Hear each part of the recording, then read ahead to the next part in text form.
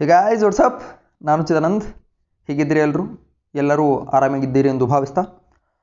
ಇವತ್ತು ಕರ್ನಾಟಕ ಆರ್ಥಿಕ ಸಮೀಕ್ಷೆ ಎರಡು ಸಾವಿರದ ಹತ್ತೊಂಬತ್ತು ಮತ್ತು ಇಪ್ಪತ್ತರ ಸಾಲಿಗೆ ಹೊಸದಾಗಿ ಸೇರ್ಪಡೆಯಾಗಿರ್ತಕ್ಕಂಥ ಹದಿನೇಳನೇ ಅಧ್ಯಾಯವಾಗಿ ಸೇರ್ಪಡೆಯಾಗಿರ್ತಕ್ಕಂಥ ಸುಸ್ಥಿರ ಅಭಿವೃದ್ಧಿ ಗುರಿಗಳು ಸಸ್ಟೈನಬಲ್ ಡೆವಲಪ್ಮೆಂಟ್ ಗೋಲ್ಸ್ ಪಾಠವನ್ನು ನಾನು ನಿಮಗೆ ಸಂಪೂರ್ಣವಾಗಿ ಈ ಒಂದು ಸೆಷನಲ್ಲಿ ಮುಗಿಸ್ಕೊಡ್ತೇನೆ. ಗೊತ್ತಿರಲಿ sustainable development goals very very important chapter ಇದು ಆರ್ಥಿಕತೆಯಲ್ಲಿ, ಆಮೇಲೆ ಪರಿಸರಾತ್ಮಕವಾಗಿ ಅತ್ಯಂತ ಉಪಯೋಗಕಾರಿ ಇರೋದ್ರಿಂದ ಕೆ ಎಸ್ ಪ್ರಿಲಿಮ್ಸ್ ಕೂಡ ಕ್ವಶನ್ ಬರ್ತವೆ ಕೆ ಎಸ್ ಮೇನ್ಸ್ ಕೂಡ ಕ್ವಶನ್ ಬರ್ತವೆ. ಹಾಗೆ ಅದೇ ರೀತಿ P C P S I ಈ ರೀತಿ ಎಲ್ಲ ಎಕ್ಸಾಮ್ಗಳಿಗೆ ಈ ಮೇಲಿನ ಕ್ವಶನ್ಗಳು ಬರ್ಬೋದು sustainable development goals it's a very very important chapter ಅದಕ್ಕಾಗಿ ಎಲ್ಲಿ ಕೂಡ ಸ್ಕಿಪ್ ಮಾಡದೆ ಈ ಒಂದು ಸೆಷನನ್ನು ನೋಡಿ. ಸುಸ್ಥಿರ ಅಭಿವೃದ್ಧಿ ಅನ್ನೋದು ಪಿ ಎಸ್ ಐ ಎಕ್ಸಾಮ್ಗೂ ಎಸ್ ಎ ಬರ್ತಕ್ಕಂಥದ್ದು ವಿಚಾರ ಇದೆ. ಅದಕ್ಕಾಗಿ ಎಲ್ಲಿ ಕೂಡ ಸ್ಕಿಪ್ ಮಾಡದೆ ಕ್ಲಿಯರಾಗಿ ನೋಡ್ಕೊಳ್ಳಿ. ಲೆಟ್ಸ್ ಸ್ಟಾರ್ಟ್ ನಾನು ಚೇತಾನಂದ ಪಡ್ದಾಳೆ ಈಗ ನಾನು ಲೈವ್ ಆಗಿ ಅನ್ ಅಕಾಡೆಮಿಯಲ್ಲಿ ಕಲಿಸ್ತಾ ಇದ್ದೀನಿ. ಇನ್ನೊಂದು ಗೊತ್ತಿರಲಿ, ಎರಡು ಸಾವಿರದ ಇಪ್ಪತ್ತು ಕೆ ಎಸ್ ಫಿಲ್ಮ್ಸ್ಗಾಗಿ ಈಗಾಗಲೇ ಟೆಸ್ಟ್ ಸೀರೀಸ್ ಲಾಂಚ್ ಆಗಿದೆ. ನೀವು ಅದರ ಒಂದು ಸದುಪಯೋಗವನ್ನು ಪಡ್ಕೋಬೇಕು. ಲೈವ್ ಆಗಿರುತ್ತೆ. ನೀವು ಅದರ ಸದುಪಯೋಗ ಪಡ್ಕೋಬೇಕು. ಮತ್ತು ನೀವು ನನ್ನ ರೆಫರಲ್ ಕೂಡ ಬಳಸಿದ್ದೆ ಅದರಲ್ಲಿ Chidu sir live C H I D U S I R L I V ಇದನ್ನು ಪ ಇದನ್ನು ತೊಗೊಂಡು ನೀವು ಟೆನ್ ಪರ್ಸೆಂಟ್ ಡಿಸ್ಕೌಂಟನ್ನು ಪಡ್ಕೋಬೋದು ನಮ್ಮ ಅಕಾಡೆಮಿ ಭಾರತ ಅತ್ಯಂತ ದೊಡ್ಡ ಆನ್ಲೈನ್ ಕಲಿಕಾ ವೇದಿಕೆ ನೀವಿಲ್ಲಿ ಟಾಪ್ ಎಜುಕೇಟರ್ಸ್ ಜೊತೆಗೆ ಕಲಿಬೋದು ಲೈವ್ ಕ್ಲಾಸಸ್ ಇರ್ತವೆ ಇದು ನಮ್ಮ ಟಾಪ್ ಎಜುಕೇಟರ್ಸ್ ಆಮೇಲೆ ಇದರ ಜೊತೆಗೆ ಪ್ರತಿ ಸಂಡೇ ಐದರಿಂದ ಏಳರವರೆಗೆ ಕೆ ಎಸ್ ಪ್ರಿಲಿಮ್ಸ್ ಟೆಸ್ಟ್ ಇರ್ತದೆ. ನೀವು ಇಲ್ಲಿ ಲೈವ್ ಆಗಿ ನೀವು ಆ ಟೆಸ್ಟನ್ನು ಅಟೆಂಡ್ ಮಾಡ್ಬೋದು every Sunday five to seven P M ಆಮೇಲೆ ನನ್ನ ವೀಡಿಯೋಗಳನ್ನ ನೀವು ವಾಚ್ ಮಾಡ್ಬೋದು. ಡೈಲಿ ಸೆಷನ್ ಮಾಡ್ತೀನಿ ನಾನು. ಡೈಲಿ ಸೆಷನ್ ನಂದು ಲೈವ್ ಆಗಿರುತ್ತೆ. ನೀವು ಅಲ್ಲಿ ನನ್ನ ಒಂದು ಎಲ್ಲ ವಿಡಿಯೋಗಳನ್ನು ಪಡ್ಕೋಬೋದು, ಅಲ್ಲಿ ನೀವು ಕಲಿಬೋದು. ನಾನೀಗ ಟೆಕ್ನಾಲಜಿ ಸಿರೀಸ್ ಮಾಡ್ತಾಯಿದ್ದೀನಿ ಆಮೇಲೆ ಕರ್ನಾಟಕ ಕರೆಂಟ್ ಅಫೇರ್ಸ್ ಸಿರೀಸ್ ಮಾಡ್ತಾಯಿದ್ದೀನಿ ಆಮೇಲೆ ಇನ್ನು science and technology yearly current ಅಫೇರ್ಸನ್ನು ಶುರು ಮಾಡ್ತೀನಿ. ಅಲ್ಲಿ ನೀವು ಅದರ ಸದುಪಯೋಗವನ್ನು ಪಡ್ಕೋಬೋದು. ಆಮೇಲೆ M C Qs test series ನಡೆದಿದೆ ಈಗ. ಎಲ್ಲ ಸಬ್ಜೆಕ್ಟಾಗಿ ಕನ್ನಡ ಹಿಡ್ಕೊಂಡು, ಆಮೇಲೆ ಯಾವುದು ಹಿಸ್ಟ್ರಿ ಜಿಯೋಗ್ರಫಿ ಎಕನಾಮಿಕ್ಸ್ ಪಾಲಿಟಿ ಪ್ರತಿಯೊಂದು ವಿಷಯದ ಮೇಲೆ ನಿಮಗೆ ಟೆಸ್ಟ್ ಸೀರೀಸ್ ಶುರುವಾಗಿದೆ. ಅಲ್ಲಿ ಕೂಡ ನೀವು ಅದರ ಸದುಪಯೋಗವನ್ನು ಪಡ್ಕೊಳ್ಬೋದು. ಆಮೇಲೆ ನೆಕ್ಸ್ಟ್ ಇಲ್ಲಿ ಹನ್ ಅಕಾಡೆಮಿ ಪ್ಲಸ್ನಲ್ಲಿ ನೀವು ಸಬ್ಸ್ಕ್ರಿಪ್ಷನ್ ಪಡ್ಕೊಳ್ಬೋದು. ಒಂದು ತಿಂಗಳಿಗೆ ಮೂರು ತಿಂಗಳು, ಆರು ತಿಂಗಳು, ಹನ್ನೆರಡು ತಿಂಗಳು, ಇಪ್ಪತ್ನಾಲ್ಕು ತಿಂಗಳು ಈ ರೀತಿ ಕೋರ್ಸ್ಗಳಿವೆ ಪರ್ ಮಂತ್ ಇಂತಿಷ್ಟು ರೂಪಾಯಿ ಅಂತಿದೆ. ನೀವು ನೋಡ್ಬೋದು ಒಂದು ತಿಂಗಳಿಗೆ one thousand four hundred one thousand one hundred sixty seven rupees ಆಮೇಲೆ nine thirty three five eighty three four sixty seven ಹೀಗೆ ಮಂತ್ಲಿ ಸಬ್ಸ್ಕ್ರಿಪ್ಷನ್ ಇರುತ್ತೆ. ಅದನ್ನು ಪಡ್ಕೋಬೋದು ನೀವು ಇದನ್ನು ತೆಗೆದುಕೊಂಡಿದ್ದೆ ಆದಲ್ಲಿ ನೀವು ನನ್ನ referral code Chidu sir live ಇದನ್ನು ಪಡ್ಕೊಂಡ್ರೆ ನಿಮಗೆ ಟೆನ್ ಪರ್ಸೆಂಟ್ ಡಿಸ್ಕೌಂಟ್ ಸಿಗುತ್ತೆ. ಸೆವೆನ್ ಥೌಸಂಡ್ ಇರೋದು ನೀವು ರೆಫರಲ್ ಕೋಡ್ನ ಬಳಸಿದಾಗ ಸಿಕ್ಸ್ ಥೌಸಂಡ್ ತ್ರೀ ಹಂಡ್ರೆಡ್ ಆಗುತ್ತೆ. ಇದನ್ನು ನೀವು ಅನ್ ಅಕಾಡೆಮಿ ಲರ್ನಿಂಗ್ ಆ್ಯಪ್ಗೆ ಹೋಗಿ ಡೌನ್ಲೋಡ್ ಮಾಡಿಕೊಂಡು ಪಡೆದುಕೊಳ್ಬೋದು. ಓಕೆ ಇನ್ನು ನಾವು ಏನು ಮಾಡೋಣ ಅಂತಂದರೆ ಕರ್ನಾಟಕ ಆರ್ಥಿಕ ಸಮೀಕ್ಷೆಯನ್ನು ನೋಡೋಣ. ಇದರಲ್ಲಿ ಸುಸ್ಥಿರ ಅಭಿವೃದ್ಧಿ ಗುರಿಗಳು. ಎರಡು ಸಾವಿರದ ಹತ್ತೊಂಬತ್ತು ಮತ್ತು ಇಪ್ಪತ್ತರ ಸಾಲಿನ ಕರ್ನಾಟಕ ಆರ್ಥಿಕ ಸಮೀಕ್ಷೆ. ಅದರಲ್ಲಿ ಒಂದು ಹೊಸ ಅಧ್ಯಾಯ, ಸುಸ್ಥಿರ ಅಭಿವೃದ್ಧಿ ಗುರಿಗಳು ಸಸ್ಟೈನಬಲ್ ಡೆವಲಪ್ಮೆಂಟ್ ಗೋಲ್ಸ್ ಇದು ನಾನು ಆಧಾರ ಮಾಹಿತಿಯನ್ನಾಗಿಸಿಕೊಂಡಿದ್ದು ಕರ್ನಾಟಕ ಸರ್ಕಾರ ಬಿಡುಗಡೆಗೊಳಿಸ್ತಕ್ಕಂಥ ಕರ್ನಾಟಕ ಆರ್ಥಿಕ ಸಮೀಕ್ಷೆ ಎರಡು ಸಾವಿರದ ಹತ್ತೊಂಬತ್ತು ಮತ್ತು ಇಪ್ಪತ್ತು. ಓಕೆ, ಇಲ್ಲಿ ಸುಸ್ಥಿರ ಅಭಿವೃದ್ಧಿ ಅಂದರೆ ಏನು ನೋಡ್ಬೇಕು ನಾವು ಮೊದಲು? ಏನು ಸುಸ್ಥಿರ ಅಭಿವೃದ್ಧಿ? ಸಸ್ಟೈನಬಲ್ ಡೆವಲಪ್ಮೆಂಟ್ ಅಂತೇಳಿ ಇಂಗ್ಲೀಷ್ನಲ್ಲಿ ಕರಿತೀವಿ. ಸಸ್ಟೈನಬಲ್ ಸಸ್ಟೈನಬಲ್ ಡೆವಲಪ್ಮೆಂಟ್ ಸುಸ್ಥಿರ ಅಭಿವೃದ್ಧಿ ಗುರಿ ಅಂತಂದರೆ ಮುಂದಿನ ಪೀಳಿಗೆಗೆ ಯಾವುದೇ ಹೊಣೆಗಾರಿಕೆ ಇಲ್ಲದಂತೆ ಸಂಪನ್ಮೂಲಗಳನ್ನ ಸರಿಯಾಗಿ ಸಂರಕ್ಷಿಸಬೇಕು. ಗೊತ್ತಿರಲಿ? ಮುಂದಿನ ಪೀಳಿಗೆಗೆ ಯಾವುದೇ ಹೊಣೆಗಾರಿಕೆ ಇಲ್ಲದಂತೆ ಈಗಿರುವ ಸಂಪನ್ಮೂಲಗಳನ್ನ ಸರಿಯಾಗಿ ಸಂರಕ್ಷಿಸಬೇಕು. ಏನಿದು? ಮುಂದಿನ ಪೀಳಿಗೆ ಅಂದರೆ ಈಗ ನಮ್ಮ ಜನ್ರೇಷನ್ ನಮ್ಮಿಂದ ಬರ್ತಕ್ಕಂಥ ಮುಂದಿನ ಜನ್ರೇಷನ್ ಅದು, ಅವ್ರಿಗೂ ಕೂಡ ಏನು ಸಿಗಬೇಕು? ಸಂಪನ್ಮೂಲಗಳು ಎಲ್ಲವೂ ಕೂಡ ಸಿಗಬೇಕು. ಅಲ್ಲಿ ಸಂಪನ್ಮೂಲಗಳ ಯಾವುದೇ ವ್ಯತ್ಯಯ ಇರಬಾರ್ದು. ಹಾಗಾದರೆ ಈಗ ವ್ಯತ್ಯಯ ಆಗ್ತಾ ಇದೆಯಾ? ಎಸ್ ಏನಾಗ್ತಾ ಇದೆ? ಮಾನವ ದಿನೇ ದಿನೇ ದಿನೇ ದಿನೇ ಬೆಳೀತಾ ಬೆಳೀತಾ ಹೋದಂತೆ ಅವನ ಅವಶ್ಯಕತೆಗಳು ಜಾಸ್ತಿ ಆಗ್ತವೆ. ಅವನ ಅವಶ್ಯಕತೆಗಳು ಜಾಸ್ತಿ ಆದಂಗೆ ಅದಕ್ಕೆ ಒಳಗಾಗ್ತಾ ಇರೋದು ಪರಿಸರ ಪರಿಸರದ ಎಲ್ಲ ಸಂಪನ್ಮೂಲಗಳನ್ನ ಈಗಲೇ ಮುಗಿಸಿಬಿಟ್ರೆ ಮುಂದಿನ ಪೀಳಿಗೆ ಏನು ಮಾಡಬೇಕು? ಓಕೆ ಫಾರ್ ಎಕ್ಸಾಂಪಲ್ ಈಗ ಪೊಲ್ಯೂಷನ್ ಎಕ್ಸಾಂಪಲ್ ತೊಗೊಳ್ಳೋಣ ನಾವು. ಪೊಲ್ಯೂಷನ್ ಎಕ್ಸಾಂಪಲ್ ತೊಗೊಂಡಾಗ, ಈಗ ನಾವೆಲ್ಲ ಟೆಕ್ನಾಲಜಿ ಮೊರೆಯನ್ನು ಹೋಗಿ ಇಡೀ ಪರಿಸರವನ್ನು ಹಾಳುಗೆಡವಿದ್ದೇ ಆದಲ್ಲಿ ಮುಂದಿನ ತಲೆಮಾರಿಗೆ ನಾವು ಏನು ಕೊಟ್ಟಂಗಾಗತ್ತೆ? ಮುಂದಿನ ತಲೆಮಾರಿಗಾಗಿ ನಾವು ಎಲ್ಲ ಒಂದು ಆಸ್ತಿ ಅಂಪ ಸಂಪತ್ತು, ಐಶ್ವರ್ಯ ಎಲ್ಲವನ್ನು ಮಾಡಿಟ್ಟರು ಸರಿಯಾದ ಸ್ವಚ್ಛಂದ ಗಾಳಿ, ಸ್ವಚ್ಛಂದ ಪರಿಸರವನ್ನು ಕೊಡಿದ್ರೆ ಏನು ಬಂತು? ಮುಂದೆ ನಾವು ಬರೀ ನೋಟು, ಆಮೇಲೆ ನಾಣ್ಯಗಳನ್ನ ತಿನ್ನೋದಕ್ಕಾಗೋದಿಲ್ಲ. ನಾವು ಮುಂದಿನ ಪೀಳಿಗೆಗೆ ಆಸ್ತಿ, ಐಶ್ವರ್ಯ, ಸಂಪತ್ತು ಎಲ್ಲವನ್ನು ಮಾಡಿಡದೆ ಹೋದರೂ ಕೂಡ ಒಂದು ಸ್ವಚ್ಛಂದ ಪರಿಸರವನ್ನು ಬಿಟ್ಟು ಹೋಗಬೇಕು.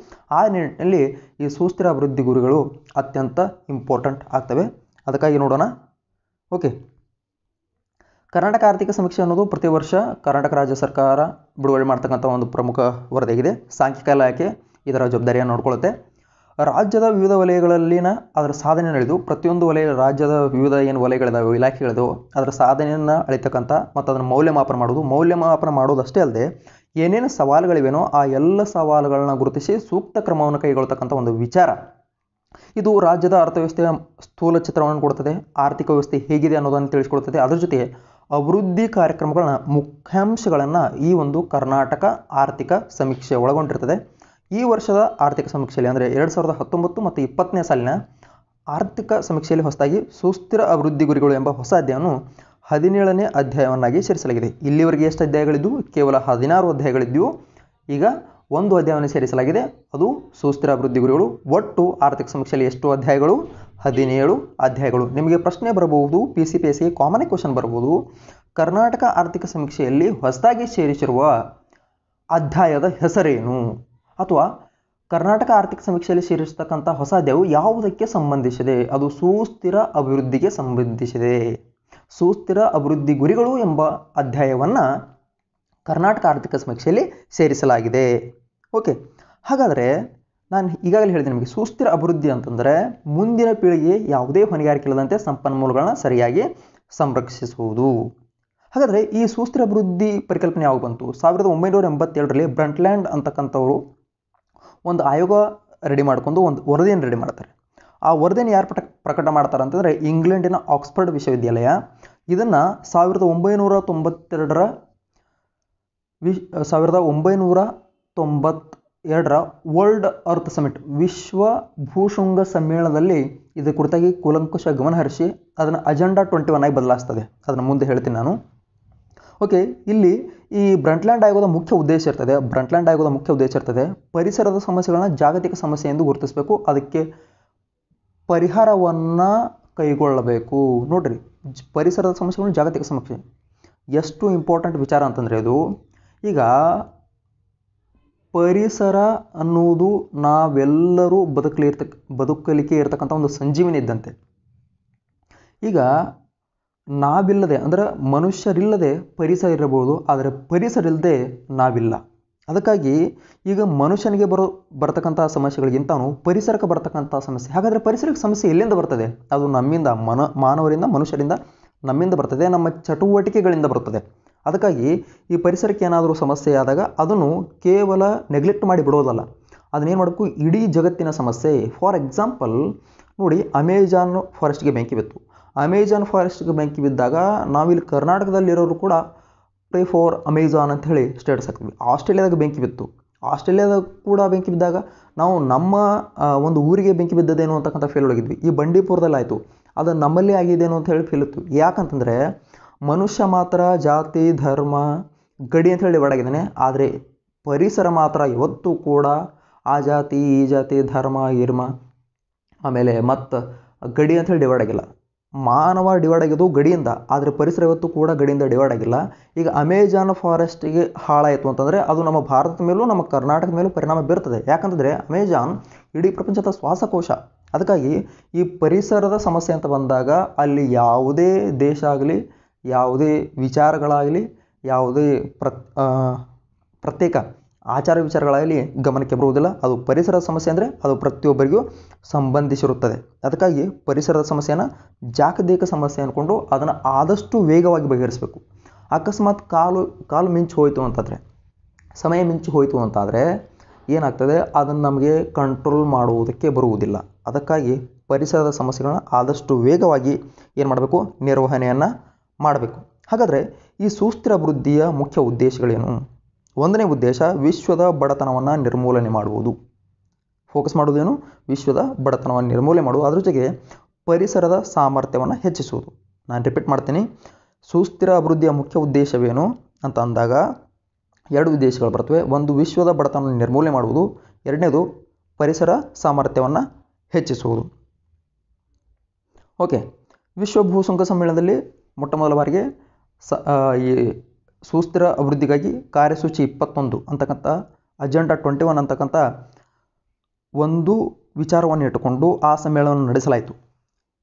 ಈ ಸಮ್ಮೇಳನ ಯಾವಾಗ ಜರುಗಿತು ಅಂತಂದರೆ ಸಾವಿರದ ಒಂಬೈನೂರ ತೊಂಬತ್ತೆರಡು ಬ್ರೆಜಿಲ್ನ ರಿಯೋಡಿ ಜನೇರು ಅಂತಕ್ಕಂಥ ಜಾಗದಲ್ಲಿ. ಅದರಲ್ಲಿ ಒಟ್ಟು ಒಂದು ನೂರ ಇಡೀ ಜಗತ್ತಿನ ಒಂದೂರ ಎಪ್ಪತ್ತೆರಡು ದೇಶಗಳು ಆ ಸಮ್ಮೇಳನದಲ್ಲಿ ಭಾಗವಹಿಸಿದ್ವು. ಏನಿದು ಅಜೆಂಡಾ ಟ್ವೆಂಟಿ ಒನ್ ಕಾರ್ಯಸೂಚಿ ಇಪ್ಪತ್ತೊಂದು. ಒಂದು ಸಲ ಯು ಪಿ ಎಸ್ ಸಿ ಪ್ರಿಲಿಮ್ಸ್ಗೆ ಕ್ವಶನ್ ಆಗಿತ್ತು. ನಾನು ಹೇಳ್ತಾನೆ ಕೇಳಿ. ಯು ಪಿ ಎಸ್ ಸಿ ಪ್ರಿಲಿಮ್ಸ್ಗೆ ಒಂದು ಸಲ ಕ್ವಶನ್ ಆಗಿತ್ತು. Agenda twenty one is related to sustainable development answer ಏನಿರಬೇಕು ಸಸ್ಟೈನಬಲ್ ಡೆವಲಪ್ಮೆಂಟ್ ಈ ಅಜೆಂಡಾ ಟ್ವೆಂಟಿ ಒನ್ ಏನು ಹೇಳ್ತದೆ? ಅಜೆಂಡಾ ಟ್ವೆಂಟಿ ಒನ್ ಯಾಕೆ ಕರೆದ್ರು ಅಂತಂದರೆ, ಈ ತೊಂಬತ್ತೆರಡರಲ್ಲಿ ಇದನ್ನು ಮುಖ್ಯವಾಗಿಟ್ಟುಕೊಂಡು ಆ ಸಮ್ಮೇಳನ ಜರುಗಿರುತ್ತದೆ ಈ ಸುಸ್ಥಿರ ಅಭಿವೃದ್ಧಿ ಗುರಿಗಳು ಏನದಾವೋ, ಆ ಎಲ್ಲ ಸುಸ್ಥಿರ ಅಭಿವೃದ್ಧಿ ಗುರಿಗಳು ಎರಡು ಸಾವಿರದ ಇಪ್ಪತ್ತೊಂದರಲ್ಲಿ ಕಂಪ್ಲೀಟ್ ಆಗಬೇಕು. ಎರಡು ಸಾವಿರದ ಇಪ್ಪತ್ತೊಂದರಲ್ಲಿ ಅದನ್ನು ಸಾಧಿಸಬೇಕು ಅಂತ ಹೇಳಿತು ಬಟ್ ಅದನ್ನು ಎರಡು ಸಾವಿರದ ಹದಿನೈದರಲ್ಲಿ ಏನು ಮಾಡಿದ್ರು? ಎರಡು ಸಾವಿರದ ಮೂವತ್ತಕ್ಕೆ ಅಂದರೆ ಅದನ್ನು ಸುಸ್ಥಿರ ಅಭಿವೃದ್ಧಿ ಗುರಿಗಳಿದ್ದನ್ನು ಮಿಲೇನಿಯಂ ಡೆವಲಪ್ಮೆಂಟ್ ಗೋಲ್ಸ್ ಅಂತೇಳಿ ಬದಲಾಯಿಸಲಾಯಿತು. ಈಗ ಸುಸ್ಥಿರ ಅಭಿವೃದ್ಧಿ ಗುರಿಗಳನ್ನ ನಾವು ಮಿಲೇನಿಯಂ ಡೆವಲಪ್ಮೆಂಟ್ ಗೋಲ್ಸ್ ಅಂತ ನಾವು ಕರಿತೀವಿ. ಎರಡು ಸಾವಿರದ ಇಪ್ಪತ್ತೊಂದಿರತಕ್ಕಂಥದ್ದನ್ನು ಎರಡು ಸಾವಿರದ ಮೂವತ್ತಕ್ಕೆ ಅಲ್ಲಿ ಏನು ಮಾಡಲಾಯಿತು? ಮುಂದೂಡಲಾಯಿತು.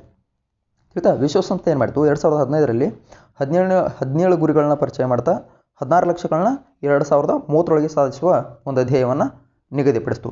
ಈ ಅಜೆಂಡಾ ಟ್ವೆಂಟಿ ಒನ್ನಲ್ಲಿ ಒಟ್ಟು ನಲವತ್ತು ಚಾಪ್ಟರ್ಸ್ ಅವು ಈ ಅಜೆಂಡಾ ಟ್ವೆಂಟಿ ಒನ್ ಅನ್ನೋದು ಎಷ್ಟು ಚಾಪ್ಟರ್ವೆ? ನಲವತ್ತು ಚಾಪ್ಟ್ರು ನಾಲ್ಕು ಸೆಕ್ಷನ್ ಆಗಿ ಡಿವೈಡ್ ಆಗಿದೆ. ಇದು ಟೋಟಲ್ ಮುನ್ನೂರ ಐವತ್ತೊಂದು ಪೇಜ್ಗಳ ಒಂದು ಕಾರ್ಯಸೂಚಿ ಇದೆ. ಅಜೆಂಡಾ ಟ್ವೆಂಟಿ ಒನ್ ಮುನ್ನೂರ ಐವತ್ತೊಂದು ಪೇಜ್ ಇದೆ, ನಲವತ್ತು ಚಾಪ್ಟರ್ಸ್ ಇವೆ, ನಾಲ್ಕು ಭಾಗಗಳಾಗಿ ಅದನ್ನು ಡಿವೈಡ್ ಮಾಡಲಾಗಿದೆ. ಓಕೆ ಎರಡು ಸಾವಿರದ ಮೂವತ್ತರೊಳಗಾಗಿ ಈ ಎಲ್ಲ ಗುರಿಗಳನ್ನು ಸಾಧಿಸಬೇಕು ಅಂತಕ್ಕಂಥದ್ದು ಒಂದು ವಿಚಾರ ಇದೆ. ಓಕೆ ಇಲ್ಲಿ ಈ ಮಿಲಿ ಸಸ್ಟೈನಬಲ್ ಡೆವಲಪ್ಮೆಂಟ್ಗಳನ್ನು ಮಿಲೇನಿಯಂ ಡೆವಲಪ್ಮೆಂಟ್ ಗೋಲ್ಸ್ ಅಂದರೆ ಸಹಸ್ರಮಾನದ ಅಭಿವೃದ್ಧಿ ಗುರಿಗಳಿಗೆ ಹೊಸದಾಗಿ ಹವಾಮಾನ ಬದಲಾವಣೆ ಕ್ಲೈಮೇಟ್ ಚೇಂಜ್ ಆಗಿರ್ಬೋದು, ಆರ್ಥಿಕ ಅಸಮಾನತೆ ನಿರ್ಮೂಲನೆ ಆಗಿರ್ಬೋದು, ಆವಿಷ್ಕಾರ, ಸುಸ್ಥಿರ ಬಳಕೆ, ಶಾಂತಿ ಆಮೇಲೆ ಜನ ಮತ್ತು ಭೂಮಿ ಮಧ್ಯೆ ಒಂದು ಜನ ಮತ್ತು ಭೂಮಿಯ ಸಮೃದ್ಧಿಗಾಗಿ ಸಮಾಜವಾದ ನ್ಯಾಯ ಮತ್ತು ಇವುಗಳನ್ನು ಸೇರಿಸ್ತಾ ಹದಿನೇಳು ಗುರಿಗಳನ್ನು ರಚಿಸಲಾಯಿತು. ನೋಡ್ರಿ, ಈಗ ಕರ್ನಾಟಕ ಆರ್ಥಿಕ ಸಮೀಕ್ಷೆಯಲ್ಲಿ ಬರ್ತಕ್ಕಂಥ ಗುರಿಗಳೇ ಬೇರೆ. ಅಲ್ಲಿ ಸುಸ್ಥಿರ ಅಭಿವೃದ್ಧಿ ಗುರಿಗಳು ನಿಗದಿಪಡಿಸಿರ್ತಕ್ಕಂಥ ಗುರಿಗಳು ಬೇರೆ. ಯಾಕಂದರೆ ಅದು ಜಾಗತಿಕವಾಗಿ ಏನು ಗುರಿಗಳು ಬರುತ್ತೋ ಅದನ್ನೆಲ್ಲ ನಿಭಾಯಿಸಬೇಕು ಅಂಥೇಳಿ ಅಲ್ಲಿ ಒಂದು ನಿರ್ಧಾರವನ್ನು ಕೈಗೊಳ್ಳಲಾಯಿತು. ಈಗ ಕರ್ನಾಟಕ ಆರ್ಥಿಕ ಸಮೀಕ್ಷೆಯಲ್ಲಿ ಇರತಕ್ಕಂಥ ಹದಿನೇಳು ಗುರಿಗಳು ಅದು ನಮ್ಮ ಲೋಕಲ್ಸ್ ಮೇಲೆ ಡಿಪೆಂಡ್ ಆಗಿರ್ತದೆ. ಓಕೆ ಇದು ಎಲ್ಲ ಬೇಸಿಕ್ ಇದು. ಸೈನ್ ಸಸ್ಟೈನೇಬಲ್ ಡೆವಲಪ್ಮೆಂಟ್ನ ಇದು ಬೇಸಿಕ್ ಇದು. ಮುಂದೆ ಕರ್ನಾಟಕದ ನೋಡ್ತೀವಿ ನಾವು. ಓಕೆ ಇಲ್ಲಿ ಹವಾಮಾನ ಬದಲಾವಣೆಗೆ, ಹವಾಮಾನ ಬದಲಾವಣೆ ನಿಯಂತ್ರಿಸಬೇಕು, ಆಮೇಲೆ ಆರ್ಥಿಕ ಅಸಮಾನತೆಯನ್ನು ಹೋಗಲಾಡಿಸಬೇಕು, ಆವಿಷ್ಕಾರ ಮಾಡಬೇಕು, ಆಮೇಲೆ ಸುಸ್ಥಿರ ಬಳಕೆ. ನಾವು ಈಗ, ಈಗಷ್ಟೇ ಬಳಸಿ ಮುಗಿಸೋದಲ್ಲ, ಅದು ಮುಂದಿನ ಜನಕ್ಕೆ ಬರಬೇಕು. ಆಮೇಲೆ ಇಡೀ ಜಗತ್ತಿನಾದ್ಯಂತ ಶಾಂತಿ ನೆಲೆಸಬೇಕು, ಜನ ಸುರಕ್ಷಿತವಾಗಿರಬೇಕು, ಭೂಮಿ ಸಮೃದ್ಧವಾಗಿರ್ಬೇಕು ಅಂತ ಹೇಳಿ ಹಿಂಗೆ ಹದಿನೇಳು ಗುರಿಗಳನ್ನು ನಿರ್ಧಾರವನ್ನು ಕೈಗೊಳ್ಳಲಾಗಿದೆ. ಅಂದರೆ ಅಜೆಂಡಾ ಟ್ವೆಂಟಿ ಒನ್ ಒಳಗಡೆ ಇದು. ಅಜೆಂಡಾ ಟ್ವೆಂಟಿ ಒನ್ ಒಳಗಡೆ ಎಷ್ಟು? ಹದಿನೇಳು ಗುರಿಗಳನ್ನ ತೆಗೆದುಕೊಳ್ಳಲಾಗಿದೆ. ಎರಡು ಸಾವಿರದ ಮೂವತ್ತರೊಳಗೆ ಇಡೀ ಜಗತ್ತಿನ ಬಡತನ ಹೋಗ, ಹೋಗಲಾಡಿಸಬೇಕು ಅನ್ನೋದು ಮುಖ್ಯ ಉದ್ದೇಶವಾಗಿದ್ದು ಲೀವಿಂಗ್ ನೋ ಒನ್ ಬಿಹೈಂಡ್ ಅಂದರೆ ಯಾರನ್ನು ಕೂಡ ಹಿಂದೆ ಬಿಡಬಾರ್ದು. ಇಲ್ಲಿ ಈ ಒಂದು ಗುರಿ ಏನಿದೆ ಈ ಗುರಿಯಲ್ಲಿ ಯಾರೂ ಕೂಡ ಹಿಂದುಳಿಬಾರದು ಅನ್ನೋದು ಇದರ ಮುಖ್ಯ ಉದ್ದೇಶ. ಓಕೆ ಅದಕ್ಕಾಗಿ leaving no one behind okay ಇದಿಷ್ಟು ಸಸ್ಟೈನಬಲ್ ಡೆವಲಪ್ಮೆಂಟ್ ಕುರಿತಾಗಿ ಅಂತಾರಾಷ್ಟ್ರೀಯ ಮಟ್ಟದಲ್ಲಿ ಸಸ್ಟೈನಬಲ್ ಡೆವಲಪ್ಮೆಂಟ್ ಗೋಲ್ಸ್ ಕುರಿತಾಗಾಯಿತು ಇನ್ನು ನಮ್ಮ ಕರ್ನಾಟಕ ಸರ್ಕಾರ ಈ ವರ್ಷ ಆರ್ಥಿಕ ಸಮೀಕ್ಷೆಯಲ್ಲಿ ಏನು ಹೊಸದಾಗಿ ಹದಿನೇಳನೇ ಅಧ್ಯಾಯವನ್ನಾಗಿ ಏನು ಸೇರಿಸಿದನೋ ಸುಸ್ಥಿರ ಅಭಿವೃದ್ಧಿ ಗುರಿಗಳನ್ನ, ಇಲ್ಲಿ ಯಾವ ಗುರಿಗಳಿವೆ ಅನ್ನೋದನ್ನು ನಾವು ಇಲ್ಲಿ ಕೂಲಂಕುಷವಾಗಿ ನೋಡ್ತಾ ಬರಬೇಕು. ಓಕೆ ಒಂದ್ಸಲ ರಿಪೀಟ್ ಮಾಡೋಣ. ಸುಸ್ಥಿರ ಅಭಿವೃದ್ಧಿ ಗುರಿ ಅಂತಂದರೆ ಮುಂದಿನ ಪೀಳಿಗೆಗೆ ಯಾವುದೇ ಹೊಣೆಗಾರಿಕೆಗಳಂತೆ ಸಂಪನ್ಮೂಲಗಳನ್ನು ಸಂರಕ್ಷಿಸುವುದು. ಇದರ ಪರಿಕಲ್ಪನೆ ಸಾವಿರದ ಒಂಬೈನೂರ ಎಂಬತ್ತೇಳರ ಬ್ರಂಟ್ಲ್ಯಾಂಡ್ ಆಯೋಗದಿಂದ ಬಂತು. ಇದನ್ನು ಬ್ರಂಟ್ಲ್ಯಾಂಡ್ ಆಯೋಗದ ವರದಿಯನ್ನು ಪ್ರಕಟಿಸಿದ್ದು ಇಂಗ್ಲೆಂಡಿನ ಆಕ್ಸ್ಫರ್ಡ್ ವಿಶ್ವವಿದ್ಯಾಲಯ. ಓಕೆ ಆ ಬ್ರಂಟ್ಲ್ಯಾಂಡ್ ಆಯೋಗದ ಮುಖ್ಯ ಉದ್ದೇಶ ಏನಿತ್ತು? ಪರಿಸರ ಸಮಸ್ಯೆಗಳನ್ನ, ಜಾಗತಿಕ ಸಮಸ್ಯೆಗಳಂತೆ ಗುರುತಿಸಬೇಕು. ಆಮೇಲೆ ಸುಸ್ಥಿರ ಅಭಿವೃದ್ಧಿಯ ಮುಖ್ಯ ಉದ್ದೇಶಗಳೇನಿತ್ತು ಅಂತಂದರೆ ವಿಶ್ವದ ಬಡತನ ನಿರ್ಮೂಲನೆ, ಪರಿಸರದ ಸಾಮರ್ಥ್ಯವನ್ನು ಹೆಚ್ಚಿಸುವುದು. ಆಮೇಲೆ ವಿಶ್ವ ಸಮ್ಮೇಳನ ಯಾವಾಗ ನಡೀತು? ಬಹಳ ಸಲ ಪ್ರಶ್ನೆ ಆಗಿದೆ ಇದು ಕೂಡ ಸಾವಿರದ ಒಂಬೈನೂರ ತೊಂಬತ್ತೆ ತೊಂಬತ್ತೆರಡು ಬ್ರೆಜಿಲ್ನ ರಿಯೋಡಿ ಜನೈರೋ. ಇದರಲ್ಲಿ ಒಂದು ನೂರ ಎಪ್ಪತ್ತೆರಡು ದೇಶಗಳು ಭಾಗಿಯಾಗಿದ್ದು, ಈ ಸಮ್ಮೇಳನದ ಪ್ರ ಫಲಶ್ರುತಿ ಏನು ಅಂತಂದರೆ ಸುಸ್ಥಿರ ಅಭಿವೃದ್ಧಿಗಾಗಿ agenda twenty one, agenda twenty ಒನ್ನ ಮುನ್ನೂರ ಐವತ್ತೊಂದು ಪುಟಗಳ ಒಂದು ಫೈಲ್ ಇದೆ ಅದು. ಅದರಲ್ಲಿ ನಲವತ್ತು ಚಾಪ್ಟರ್ಸ್ ಇವೆ. ನಾಲ್ಕು ವಿಭಾಗಗಳಾಗಿ ವಿಂಗಡಿಸಲಾಗಿದೆ.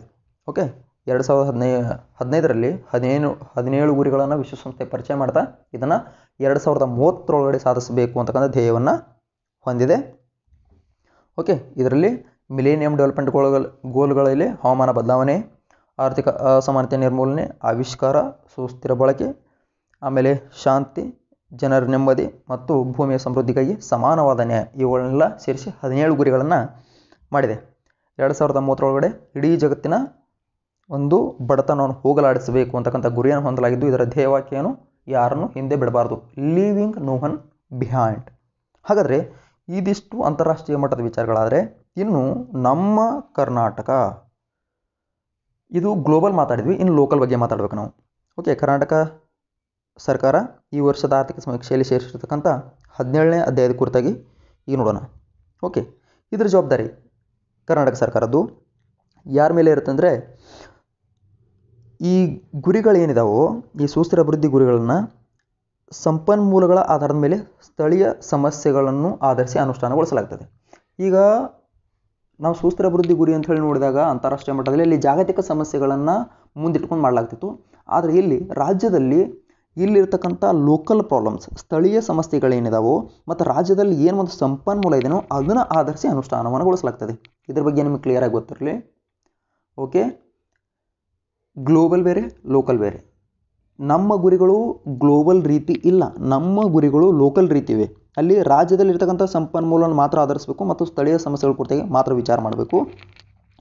ಇದು ವಿವಿಧ ಇಲಾಖೆಗಳ ಅಧಿಕಾರಿಗಳ ನೇತೃತ್ವದಲ್ಲಿ ಯೋಜನಾ ಇಲಾಖೆಯು ಉಸ್ತುವಾರಿಯನ್ನು ವಹಿಸ್ತದೆ ಮತ್ತು ಸಮನ್ವಯ ಸಮಿತಿಯನ್ನು ರಚಿಸುತ್ತೆ ಓಕೆ, ಯೋಜನಾ ಇಲಾಖೆ ಇಲಾಖೆ ಉಸ್ತುವಾರಿ ಮತ್ತು ಸಮನ್ವಯ ಸಮಿತಿಗಳನ್ನು ರಚಿಸಿದ್ದು ರಾಜ್ಯ ಮಟ್ಟದಲ್ಲಿ ಸ್ಟೇರಿಂಗ್ ಸಮಿತಿಯ ಸಮಿತಿಯ ಅಧ್ಯಕ್ಷತೆಯನ್ನು ಸರ್ಕಾರದ ಮುಖ್ಯ ಕಾರ್ಯದರ್ಶಿಗಳು ವಹಿಸಿರ್ತಾರೆ. ಇದಕ್ಕೆ ಮೇನ್ ಯಾರಿರ್ತಾರೆ ಸರ್ಕಾರದ ಮುಖ್ಯ ಕಾರ್ಯದರ್ಶಿ, ಸರ್ಕಾರದ ಚೀಫ್ ಸೆಕ್ರೆಟರಿ ಇದರ ನೇತೃತ್ವವನ್ನು ವಹಿಸಿ ಇದನ್ನೆಲ್ಲ ಲೀಡಿಂಗ್ ಮಾಡ್ತಿರ್ತಾರೆ. ಓಕೆ ಇದರಿಂದಾಗಿ ಒಂದು ಸಮರ್ಥ ಕ್ರಿಯಾ ಯೋಜನೆಯನ್ನು ತಯಾರಿಸಿ ಸುಸ್ಥಿರ ಅಭಿವೃದ್ಧಿ ಗುರಿಗಳನ್ನು ಸಾಧಿಸಲಿಕ್ಕೆ ಅತ್ಯಂತ ಅನುಕೂಲ ಆಗ್ತದೆ. ಯಾಕಂದರೆ ಇದಕ್ಕೊಂದು ಒಳ್ಳೆ ಟೀಮ್ ಬೇಕು. ಇದು ಒಂದಿಬ್ಬರ ಕಡೆಯಿಂದ ಆಗೋದಲ್ಲ. ಇಲ್ಲಿ ಪ್ರತಿಯೊಂದು ಇಲಾಖೆಯಿಂದ ಅಧಿಕಾರಿಗಳಿರಬೇಕು. ಆ ಅಧಿಕಾರಿಗಳು ಕರ್ನಾಟಕದ ಚೀಫ್ ಸೆಕ್ರೆಟರಿ ಅವ್ರು ಏನು ಹೇಳ್ತಾರೋ ಅವರ ನಿರ್ದೇಶನದಂತೆ ಪ್ರತಿಯೊಂದು ಕೆಲಸ ಕಾರ್ಯಗಳನ್ನ ನೋಡ್ಕೊಳ್ಬೇಕಾಗ್ತದೆ. ಓಕೆ ಅದಕ್ಕಾಗಿ ಒಂದು ಸಮರ್ಥ ಕ್ರಿಯಾ ಯೋಜನೆ ಬೇಕಾಗುತ್ತದೆ ಆ ಕ್ರಿಯಾ ಯೋಜನೆಯನ್ನು ಎಲ್ಲರೂ ಕೂಡಿ ತೆಗೆದುಕೊಳ್ತಾರೆ.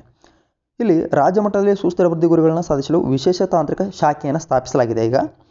ಇಲ್ಲಿ ಪ್ರತ್ಯೇಕ ಗುರಿ ಸಂಸ್ಥೆಗಳನ್ನು ಸ್ಥಾಪಿಸಿದ್ದು ತದ್, ತಜ್ಞರನ್ನು ಯಾರು?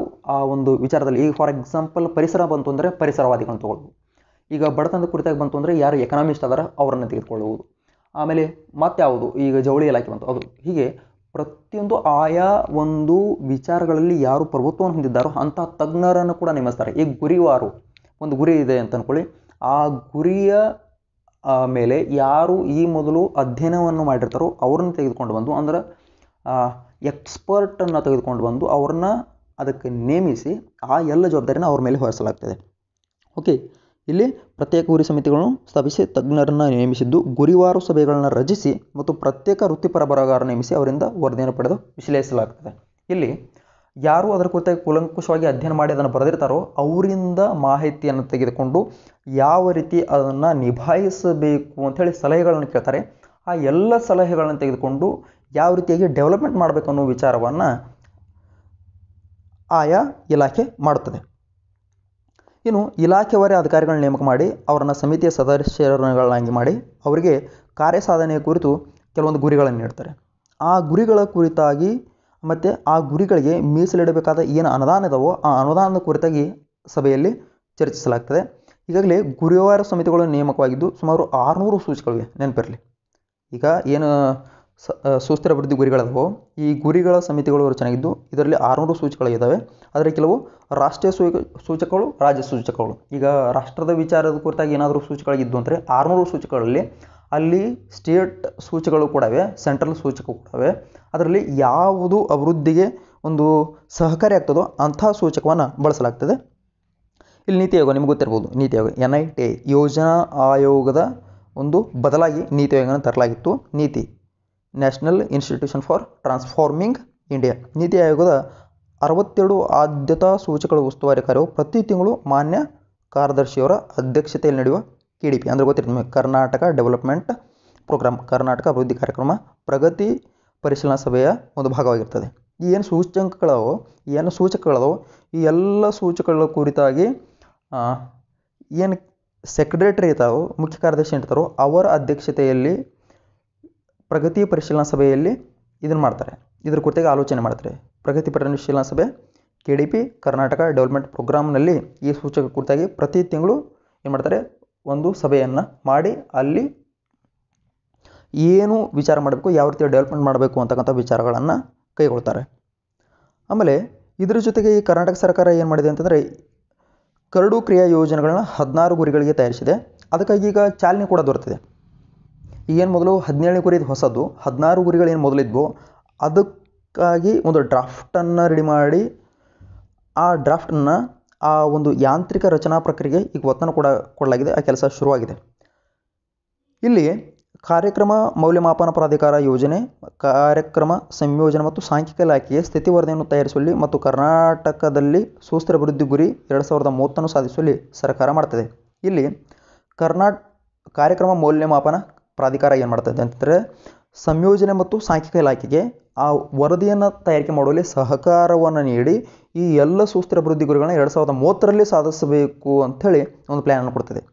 ಇಲ್ಲಿ ಯಾ, ಇದಕ್ಕೆ ಸಹಯೋಗ ಕೊಡ್ತಕ್ಕಂಥದ್ದು ಯು ಎನ್ ಡಿ ಪಿ ಅಂದರೆ ವಿಶ್ವಸಂಸ್ಥೆ ಒಂದು ಅಂಗಸಂಸ್ಥೆ U N D P united nations development programme ಅದು ಕೂಡ ಸುಸ್ಥಿರ ಅಭಿವೃದ್ಧಿ ಗುರಿಗಳನ್ನ ಸಾಧಿಸುವಲ್ಲಿ ಒಂದು ಸಮನ್ವಯ ಸಮನ್ವಯ ಕೇಂದ್ರವನ್ನು ಸ್ಥಾಪಿಸಿ ರಾಜ್ಯ ಸರ್ಕಾರಕ್ಕೆ ಸಪೋರ್ಟನ್ನು ಮಾಡ್ತದೆ. ಗೊತ್ತಿರಲಿ ಇನ್ನೊಂದು ವಿಚಾರ, ಎರಡು ಸಾವಿರದ ಹತ್ತೊಂಬತ್ತರ ಒಂದು ಸೂಚಕದಲ್ಲಿ ಕರ್ನಾಟಕ ಸರ್ಕಾರ ಸುಸ್ಥಿರ ಅಭಿವೃದ್ಧಿ ಗುರಿಗಳ ಸಾಧನೆಯಲ್ಲಿ ಇಡೀ ದೇಶದಲ್ಲಿ ಮುಂಚೂಣಿಯಲ್ಲಿದೆ. ಪ್ರಶ್ನೆ ಬರಬಹುದು ಭಾರತದಲ್ಲಿ ಸುಸ್ಥಿರ ಅಭಿವೃದ್ಧಿ ಗುರಿಗಳ ಸಾಧನೆಯಲ್ಲಿ ಮುಂಚೂಣಿಯಲ್ಲಿರ್ತಕ್ಕಂಥ ರಾಜ್ಯ ಯಾವುದು? ಸುಸ್ಥಿರ ಅಭಿವೃದ್ಧಿ ಗುರಿಗಳನ್ನು ಸಾಧನೆ ಸಾಧಿಸುವಲ್ಲಿ ಇಡೀ ಭಾರತದಲ್ಲಿ ಮುಂಚೂಣಿಯಲ್ಲಿರ್ತಕ್ಕಂಥ ರಾಜ್ಯ ಯಾವುದು ಅಂತ ಹೇಳಿ ಪ್ರಶ್ನೆ ಬರ್ಬೋದು. ಅದು ಯಾವುದು ಅಂತಂದರೆ ಅದು ನಮ್ಮ ಕರ್ನಾಟಕ. ಓಕೆ, ಇನ್ನು ಇದಕ್ಕೆ ಧನ ಸಹಾಯವನ್ನು ವಿಶ್ವ ಮಾನ್ಯತೆ ಪಡೆದಿರ್ತಕ್ಕಂಥ ವಿಶ್ವಸಂಸ್ಥೆ ಅಂಗ ಅಂಗಸಂಸ್ಥೆಯಾದ U N D P united nations development programme ಮತ್ತು ವಿಶ್ವ ಬ್ಯಾಂಕ್ ವರ್ಲ್ಡ್ ಬ್ಯಾಂಕ್ನಿಂದ ಧನ ಸಹಾಯವನ್ನು ಪಡೆದು ಅತ್ಯುನ್ನತ ವೃದ್ಧಿ ಕಾರ್ಯಕ್ರಮಗಳನ್ನು ಈಗಾಗಲೇ ಕೈಗೊಳ್ಳಲಾಗಿದೆ. ಓಕೆ, ಇಲ್ಲಿ ಬರೀ ಈಗಿನ ವಿಚಾರಗಳನ್ನ ಅಷ್ಟೇ ಮಾಡೋದಲ್ಲ, ದೂರದೃಷ್ಟಿತ್ವನೂ ಇರಬೇಕು ನನಗೆ ಮುಂದಿನ ವಿಚಾರಗಳನ್ನು ಮಾಡಿ ಸಂಪನ್ಮೂಲ ಉಳಿಸ್ಕೊಳ್ಬೇಕಂತ ವಿಚಾರಗಳನ್ನು ಮಾಡಿ, ನಮ್ಮ ಸ್ಥಳೀಯ ಒಂದು ಸರ್ಕಾರಕ್ಕೆ ಸಹಾಯವಾಗುವಂತೆ, ಆಮೇಲೆ ಸ್ಥಳೀಯ ಜನರಿಗೆ ಸಹಾಯವಾಗುವಂತೆ ಆ ಎಲ್ಲ ಕ್ರಿಯಾ ಯೋಜನೆಗಳನ್ನ ರೆಡಿ ಮಾಡಿಕೊಳ್ಳಲಾಗಿದೆ ಹೀಗೆ. ಸುಸ್ಥಿರ ಅಭಿವೃದ್ಧಿ ಗುರಿಗಳನ್ನ ಸಾಧಿಸಲು ಈಗ ಅಗತ್ಯ ಕ್ರಮಗಳನ್ನ ಕೈಗೊಳ್ಳಲಾಗಿದೆ. ಯಾಕಂತಂದರೆ ಈಗ ಅಗತ್ಯ ಕ್ರಮಗಳನ್ನ ಕೈಗೊಂಡು ಈಗ ನಾವು ಮುಂಚಿನಲ್ಲಿ ಕೂಡ ಇದ್ದೀವಿ. ನಮಗೆ ಸಾಧಿಸಲು ಅತ್ಯಂತ ಈಸಿ ಆಗ್ತದೆ ಇದನ್ನೆಲ್ಲ ಮಾಡಬೇಕಾದ್ರೆ. ಓಕೆ ಕರ್ನಾಟಕ ಸರ್ಕಾರ ಅವಶ್ಯಕ ನೀತಿಗಳನ್ನು ಸಿದ್ಧಪಡಿಸಿದ್ದು ಎಲ್ಲವೂ ವಿನೂತನವಾದ ನೀತಿಗಳೇ. ಎಲ್ಲವೂ ಕೂಡ ಹೊಸ ನೀತಿಗಳೇ. ಇಲ್ಲಿ ಈಗಿನ ಒಂದು ಸಮಯಕ್ಕೆ ಏನು ಬೇಕು? ಅಂಥ ವಿನೂತನ ನೀತಿಗಳನ್ನ ಮಾತ್ರ ಕೈಗೆತ್ತಿಕೊಳ್ಳಲಾಗಿದೆ. ಓಕೆ ಇದರಿಂದ ಎಲ್ಲ ವಲಯಗಳು, ಪ್ರತಿಯೊಂದು ಏನು ವಲಯಗಳು ಬರ್ತಾವೋ ಅವು ಇವೇನದೆ ಪ್ರತಿಯೊಂದು ವಲಯಗಳು ಏನದವು ಪ್ರತಿಯೊಂದು ವಲಯಗಳ ಸಮಗ್ರ ಅಭಿವೃದ್ಧಿಯನ್ನು ಸಮಗ್ರ ಅಭಿವೃದ್ಧಿಯನ್ನು ಸಮಗ್ರ ಅಭಿವೃದ್ಧಿಯನ್ನು, ಸಮಗ್ರ ರೀತಿಯಲ್ಲಿ ಸುಸ್ಥಿರ ಅಭಿವೃದ್ಧಿಗಳನ್ನ ಗುರಿಗಳನ್ನ ಸಾಧಿಸಬೇಕು ಮತ್ತು ರಾಜ್ಯದ ಸೇ ಶ್ರೇಯಾಂಕವನ್ನು ಸುಧಾರಿಸಲು ಇದು ಅನುಕೂಲ ಆಗ್ತದೆ. ನೋಡಿರಿ, ಈ ಏನು ನೀತಿಗಳದವು ಪ್ರತಿಯೊಂದು ನೀತಿಗಳು ಅತ್ಯಂತ ಅವಶ್ಯಕ. ಈ ನೀತಿಗಳನ್ನು ಇಂಪ್ಲಿಮೆಂಟೇಷನ್ ಮಾಡಬೇಕಾದ್ದು ಅತ್ಯಂತ ಅವಶ್ಯಕ. ಈ ನೀತಿಗಳನ್ನ ಸರಿಯಾಗಿ ನಾವು ಇಂಪ್ಲಿಮೆಂಟೇಷನ್ ಮಾಡಿದ್ದೇ ಆದಲ್ಲಿ ರಾಜ್ಯವನ್ನು, ಆ ರಾಜ್ಯದ ಗುರಿಗಳನ್ನು ಬಹಳ ಚೆನ್ನಾಗಿ ಏನು ಮಾಡ್ಬೋದು, ಸುಧಾರಿಸ್ಬೋದು. ಹಾಗಾದರೆ ಇಷ್ಟೆಲ್ಲ ಮಾಡಬೇಕು ಅಂತಂದರೆ ಯಾವುವು ಗುರಿಗಳು? ಹದಿನೇಳು ಗುರಿಗಳು ಯಾವ ಅಂತೇಳಿ ಗೊತ್ತಿರ್ಬೇಕಲ್ಲ? ಆ ಹದಿನೇಳು ಗುರಿಗಳನ್ನು ಈಗ ನಾವು ನೋಡೋಣ. ಓಕೆ? ಇಲ್ಲಿ ಮೊದಲ ಗುರಿ. ಹದಿನೇಳು ಸುಸ್ಥಿರ ಅಭಿವೃದ್ಧಿ ಗುರಿಗಳಿವೆ. ಇದರಲ್ಲಿ ಗುರಿ ಒಂದು ಬಡತನ ನಿರ್ಮೂಲನೆ. ಗುರಿ ಒಂದು ಯಾವುದು? ಬಡತನ ನಿರ್ಮೂಲನೆ. ಇಲ್ಲಿ ಬಡತನ ನಿರ್ಮೂಲನೆ ಅಂತ ಬಂದಾಗ ಇಲ್ಲಿ ಯಾವ ಕ್ಷೇತ್ರದ ಕುರಿತಾಗಿ ನಾವು ಗಮನ ಹರಿಸಬೇಕು ಅಂತಂದರೆ ದುರ್ಬಲ ವರ್ಗ. ಯಾರಿಗೆ ಶಕ್ತಿ ಇಲ್ಲವೋ, ಯಾರು ಎಕನಾಮಿಕಲಿ ವೀಕ್ ಅದಾರೋ ಅವ್ರನ್ನ ಸ್ಟ್ರಾಂಗ್ ಮಾಡಬೇಕು. ಅಷ್ಟೇ ಅಲ್ಲದೆ ಈಗ ಬಡತನ ಇತ್ತು ಅಂತಂದರೆ ಬರೀ ದುಡ್ಡಿಲ್ಲ ಅಂತಲ್ಲ, ಅವರ ಆರೋಗ್ಯದ ಕುರಿತ ಆರೋಗ್ಯದಲ್ಲೂ ಕಡಿಮೆ ಇರ್ತದೆ. ಆಮೇಲೆ ಶಿಕ್ಷಣವನ್ನು ಕೂಡ ಅವರು ಪಡೆದುಕೊಂಡಿರುವುದಿಲ್ಲ, ವಸತಿ ಸರಿಯಾಗಿರುವುದಿಲ್ಲ, ಮೂಲಭೂತ ಸೌಕರ್ಯ ಇರುವುದಿಲ್ಲ. ಅದರ ಲಭ್ಯತೆಯನ್ನು ಮನದಲ್ಲಿ ಮಾಡಬೇಕು. ಈಗ ಬಡತನ ಅಂತಂದರೆ ಏನು? ಯಾರಿಗೆ ಮೂಲಭೂತ ಸೌಕರ್ಯಗಳಾದ ಆಹಾರ, ಬಟ್ಟೆ, ವಸತಿ, ಹೊಸದಾಗಿ ಶಿಕ್ಷಣವನ್ನು ಕೂಡ ಸೇರಿಸಲಾಗಿದೆ. ಆಹಾರ, ಬಟ್ಟೆ, ವಸತಿ, ಶಿಕ್ಷಣ ಇವ್ಯಾವೂ ಇರುವುದಿಲ್ಲವೋ ಅವನು ಬಡವ. ಅದಕ್ಕೆ ಈ ಬಡತನ ನಿರ್ಮೂಲನೆ ಮಾಡಬೇಕು ಅಂದರೆ ಪೂರ್ತಿ ಗ್ರೌಂಡ್ ಲೆವೆಲ್ದಿಂದಾನೇ ಬರಬೇಕು. ಈಗ ಒಮ್ಮೆ ಅವನಿಗೆಲ್ಲ ಕೊಡೋದಲ್ಲ ಗ್ರೌಂಡ್ ಲೆವೆಲ್ದಿಂದಾನೇ ಬರಬೇಕು. ಗ್ರೌಂಡ್ ಲೆವೆಲ್ ಅಂತಂದರೆ ಈ ಆರೋಗ್ಯ ಆಗಿರ್ಬೋದು, ಶಿಕ್ಷಣ ಆಗಿರ್ಬೋದು, ವ್ಯವಸ್ಥೆ ಆಗಿರ್ಬೋದು, ಆಮೇಲೆ ಮೂ, ಮತ್ತು ಮೂಲಭೂತ ಸೌಕರ್ಯಗಳನ್ನು ಅವರಿಗೆ ಕೊಡಬೇಕು.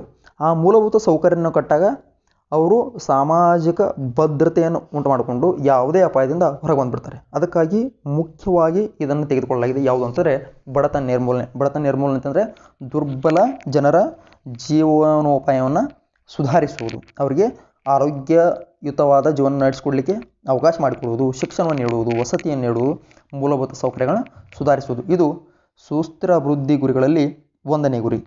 ಇನ್ನು ಎರಡನೇ ಗುರಿ ಹಸಿವು ಮುಕ್ತ. ಹಸಿವನ್ನು ಕೊನೆಗಾಣಿಸಿ ಆಹಾರ ಬದ್ಧತೆ ಮತ್ತು ಸುಧಾರಿತ ಪೌಷ್ಟಿಕತೆಯನ್ನು ಸುಧಾ, ಸಾಧಿಸಿ ಹಾಗೂ ಸುಸ್ಥಿರ ಕೃಷಿಯನ್ನು ಉತ್ತೇಜಿಸುವುದು. ಇಲ್ಲಿ ನೋಡ್ರಿ, ಗುರಿ ಎರಡು ಏನು? ಹಸು ಮುಕ್ತ ಇಲ್ಲಿ ಹಸಿವನ್ನು ಕೊನೆಗಾಣಿಸಬೇಕು. ಹಸಿವು ಹೋಗಬೇಕು ಅಂತಂದರೆ ಅವಾಗಲ್ಲಿ ಆಹಾರ ಸಿಗಬೇಕು. ಆಹಾರ ಸಿಗಬೇಕು ಅಂತಂದರೆ ನಾ ಆಹಾರ ಪಡ್ಕೊಳ್ತೀನಿ ಅಂತಕ್ಕಂಥ ಭದ್ರತೆ ಅವನಲ್ಲಿರಬೇಕು ಓಕೆ, ಇದನ್ನು ಸರ್ಕಾರ ಮಾಡಬೇಕಾಗ್ತದೆ. ಓಕೆ, ಇಲ್ಲಿ ಸುಧಾರಿತ ಪೌಷ್ಟಿಕತೆ, ಈಗ ಆಹಾರ ಕೊಡ್ತೀವಿ ಅಂತಂದರೆ ಎಂಥದ್ದು ಆಹಾರ ಕೊಡೋದಲ್ಲ, ಅಲ್ಲಿ ಪೌಷ್ಟಿಕಾಂಶ ಭರಿತವಾದ ಆಹಾರ ಸಿಗಬೇಕು. ಈ ಪೌಷ್ಟಿಕಾಂಶಯುತ ಆಹಾರ ಬರಬೇಕು ಅಂತಂದರೆ ಅಲ್ಲಿ ಸುಸ್ಥಿರ ಕೃಷಿ ಇರಬೇಕು. ಏನಿದು ಸುಸ್ಥಿರ ಕೃಷಿ? ಸಸ್ಟೈನಬಲ್ ಅಗ್ರಿಕಲ್ಚರ್ ಸಸ್ಟೈನಬಲ್ ಅಗ್ರಿಕಲ್ಚರ್ ಅಂತಂದರೆ ಮೂಲ ಕೃಷಿ ನೀತಿಯನ್ನು ಅಳವಡಿಸ್ಕೊಳ್ಳೋದು. ಮೂಲ ಕೃಷಿ ನೀತಿ ಅಂತಂದರೆ ಯಾವುದೇ ರಾಸಾಯನಿಕಗಳಿಲ್ಲದೆ ನಾವು ಸಾವಯವ ಗೊಬ್ಬರವನ್ನು ಬಳಸಿ ಏನು ಮಾಡ್ತೀವಿ, ಮೊದಲಿನ ಜನ ಏನು ಮಾಡ್ತಿದ್ರು, ಮೊದಲಿನ ನಮ್ಮ ತಾತ, ಮುತ್ತಾತ, ನಮ್ಮ ಪೂರ್ವಜರು ಏನು ಮಾಡ್ತಿರೋ ಆ ಒಂದು ಕೃಷಿ ನೀತಿಯನ್ನು ಅಳವಡಿಸ್ಕೊಳ್ಬೇಕು. ಆಮೇಲೆ ಸುಸ್ಥಿರ ಕೃಷಿ ನೀತಿಯಲ್ಲಿ ಒಂದು ಮೂಲ ಕೃಷಿ ನೀತಿ ಅಳವಡಿಸ್ಕೋಬೇಕು, ಸಾವಯವ ಕೃಷಿಯನ್ನು ಅಳವಡಿಕೆ ಮಾಡ್ಕೋಬೇಕು, ಆಮೇಲೆ ಹನಿ ನೀರಾವರಿ ಪದ್ಧತಿಯನ್ನು ಇನ್ಕ್ಲೂಡ್ ಮಾಡ್ಕೋಬೇಕು, ಆಮೇಲೆ ತುಂತುರು ನೀರಾವರಿ, ಮಣ್ಣಿನ ಕ್ರಿಮಿ ಶುದ್ಧೀಕರಣ ಇವೆಲ್ಲವೂ ಸುಸ್ಥಿರ ಕೃಷಿಯಲ್ಲಿ ಬರ್ತವೆ. ನೋಡಿರಿ ಎಷ್ಟು ಚಂದಿದೆ ಒಂದಕ್ಕೊಂದು ರಿಲೇಟ್ ಇದೆ. ಹಸಿವನ್ನು ಕೊನೆಗಿರಿಸಬೇಕು ಆಹಾರ ಭದ್ರತೆ ಬೇಕು. ಆಹಾರ ಪೌಷ್ಟಿಕಾಂಶತೆಯಿಂದ ಇರಬೇಕು. ಆ ಪೌಷ್ಟಿಕಾಂಶ ಆಹಾರ ಸುಸ್ಥಿರ ಕೃಷಿ ಮೇಲೆ ಆಧಾರಿತವಾಗಿರ್ತದೆ. ಸುಸ್ಥಿರ ಕೃಷಿ ಅಂತಂದರೆ ಅಲ್ಲಿ ಸಾವಯವ ಕೃಷಿ ನೀತಿ ಆಮೇಲೆ ನೆಕ್ಸ್ಟ್ ಒನ್ ಹನಿ ನೀರಾವರಿ, ತುಂತುರು ನೀರಾವರಿ, ಅದ್ರ ಜೊತೆಗೆ ಮಣ್ಣಿನ ಕ್ರಿಮಿ ಶುದ್ಧೀಕರಣ ಕೂಡ ಆಗಬೇಕು. ಇಲ್ಲಿ ಯಾವ ಕ್ಷೇತ್ರದ ಮೇಲೆ ಗಮನ ಹರಿಸಬೇಕು ಅಂದರೆ ಔಪೌಷ್ಟಿಕತೆಯ ನಿರ್ಮೂಲನೆ ಮಾಡಬೇಕು ಸುರಕ್ಷಿತ ಹಾಗೂ ಆರೋಗ್ಯಕರ ಆಹಾರವನ್ನು ಲಭ್ಯತೆ ಮಾಡಬೇಕು, ಆಮೇಲೆ ಕೃಷಿ ಪದ್ಧತಿಯನ್ನು ಮೇಲ್ದರ್ಜೆ ಮೇಲ್ದರ್ಜೆಗೇರಿಸಬೇಕು ಸುಸ್ಥಿರ ಕೃಷಿ ಅಭಿವೃದ್ಧಿಯನ್ನು ಮಾಡಬೇಕು. ಈ ಕುರಿತಾಗಿ ಗಮನ ಹರಿಸೋದು ಅತ್ಯಂತ ಸೂಕ್ತವಾಗಿದೆ. ಓಕೆ ಇನ್ನು ಗುರಿ ಮೂರು. ಯಾವುದು ಅಂತಂದರೆ ಉತ್ತಮ ಆರೋಗ್ಯ ಮತ್ತು ಯೋಗಕ್ಷೇಮ. Very very important health is wealth ಅಂತ ಹೇಳ್ತೀವಿ ನಾವು. ಹೆಲ್ತ್ ಇಲ್ಲ ಈಗ ನಮ್ಗೆ ಎಲ್ಲ ಆಸ್ತಿಗಳಿಗಿಂತನೂ ಮುಖ್ಯವಾದ ಆಸ್ತಿ ನಮ್ಮ ಆರೋಗ್ಯ. ನಮ್ಮ ಆರೋಗ್ಯ ಸರಿಯಾಗಿದ್ರೇ ಇಲ್ಲ ನಾವು ಸರಿಯಾಗಿದ್ರೇ ಇಲ್ಲ ಅದಕ್ಕಾಗಿ ಎಲ್ಲರಿಗೂ ಎಲ್ಲ ವಯೋಮಾನದಲ್ಲೂ ಆರೋಗ್ಯಕರ ಜೀವನವನ್ನು ಖಾತ್ರಿಪಡಿಸಿ ಯೋಗಕ್ಷೇಮನ ಉತ್ತೇಜಿಸುವುದು. ಮುಖ್ಯವಾಗಿ ಅವರ ಯೋಗಕ್ಷೇಮ ನೋಡ್ಕೊಳ್ಳಿಕ್ಕೆ ಇಲ್ಲಿ ರೋಗದ ಪ್ರಮಾಣವನ್ನು ತಗ್ಗಿಸಬೇಕು, ಶಿಶುಗಳ ಮರಣ. ನೋಡ್ರಿ, ನವಜಾತ ಶಿಶುಗಳ ಮರಣ ಉಂಟಾಗ್ತದೆ. ಯಾಕಂದರೆ ಪೌಷ್ಟಿಕಾಂಶತೆ ಕೊರತೆ ಮುಖ್ಯವಾಗಿ.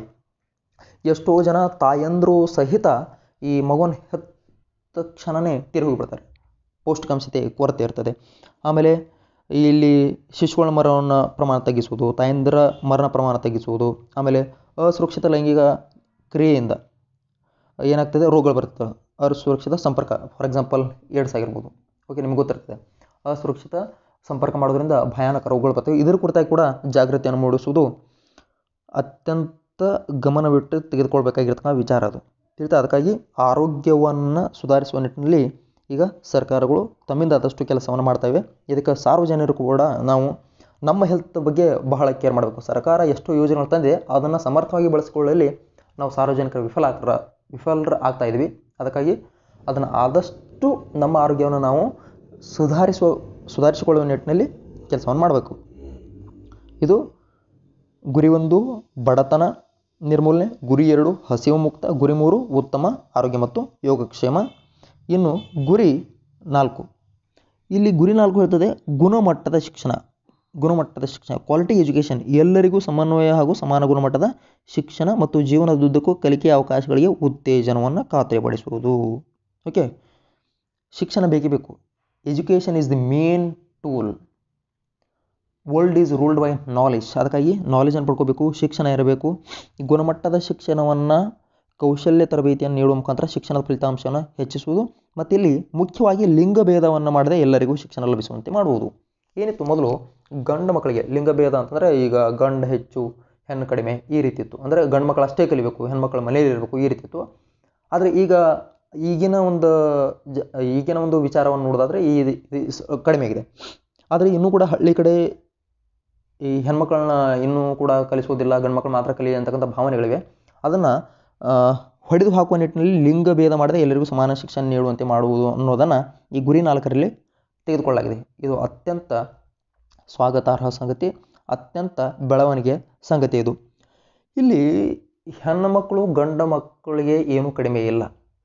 ಓಕೆ, ಇಲ್ಲಿ ನಾವು ಅವ್ರ ಕಡಿಮೆ ಇವ್ರು ಹೆಚ್ಚು, ಇವ್ರ ಕಡಿಮೆ ಅವ್ರು ಹೆಚ್ಚು ಅಂತೇಳಿ ಯಾವುದೇ ಭೇದವನ್ನು ಮಾಡ್ತಕ್ಕಂಥ ಅಗತ್ಯ ಇಲ್ಲ. ಯಾಕಂದರೆ ಗಂಡು ಮಕ್ಕಳಿಗೆ ಹೆಣ್ಮಕ್ಳು ಕೂಡ ಸರಿಸಮಾನರು ಗಂಡು ಮಕ್ಕಳಿಗೆ ಯಾವ ರೀತಿ ಶಿಕ್ಷಣ ಸಿಗುತ್ತದೆಯೋ ಅದೇ ರೀತಿ ಹೆಣ್ಣು ಮಕ್ಕಳಿಗೆ ಕೂಡ ಶಿಕ್ಷಣ ಸಿಗಬೇಕು ಅನ್ನೋದು ಈ ಗುರಿಯ ಮುಖ್ಯ ಉದ್ದೇಶ. ಇನ್ನು ನೆಕ್ಸ್ಟ್ ಗುರಿ ಐದು, ಲಿಂಗ ಸಮಾನತೆ. ಓಕೆ ಲಿಂಗ ಸಮಾನತೆ.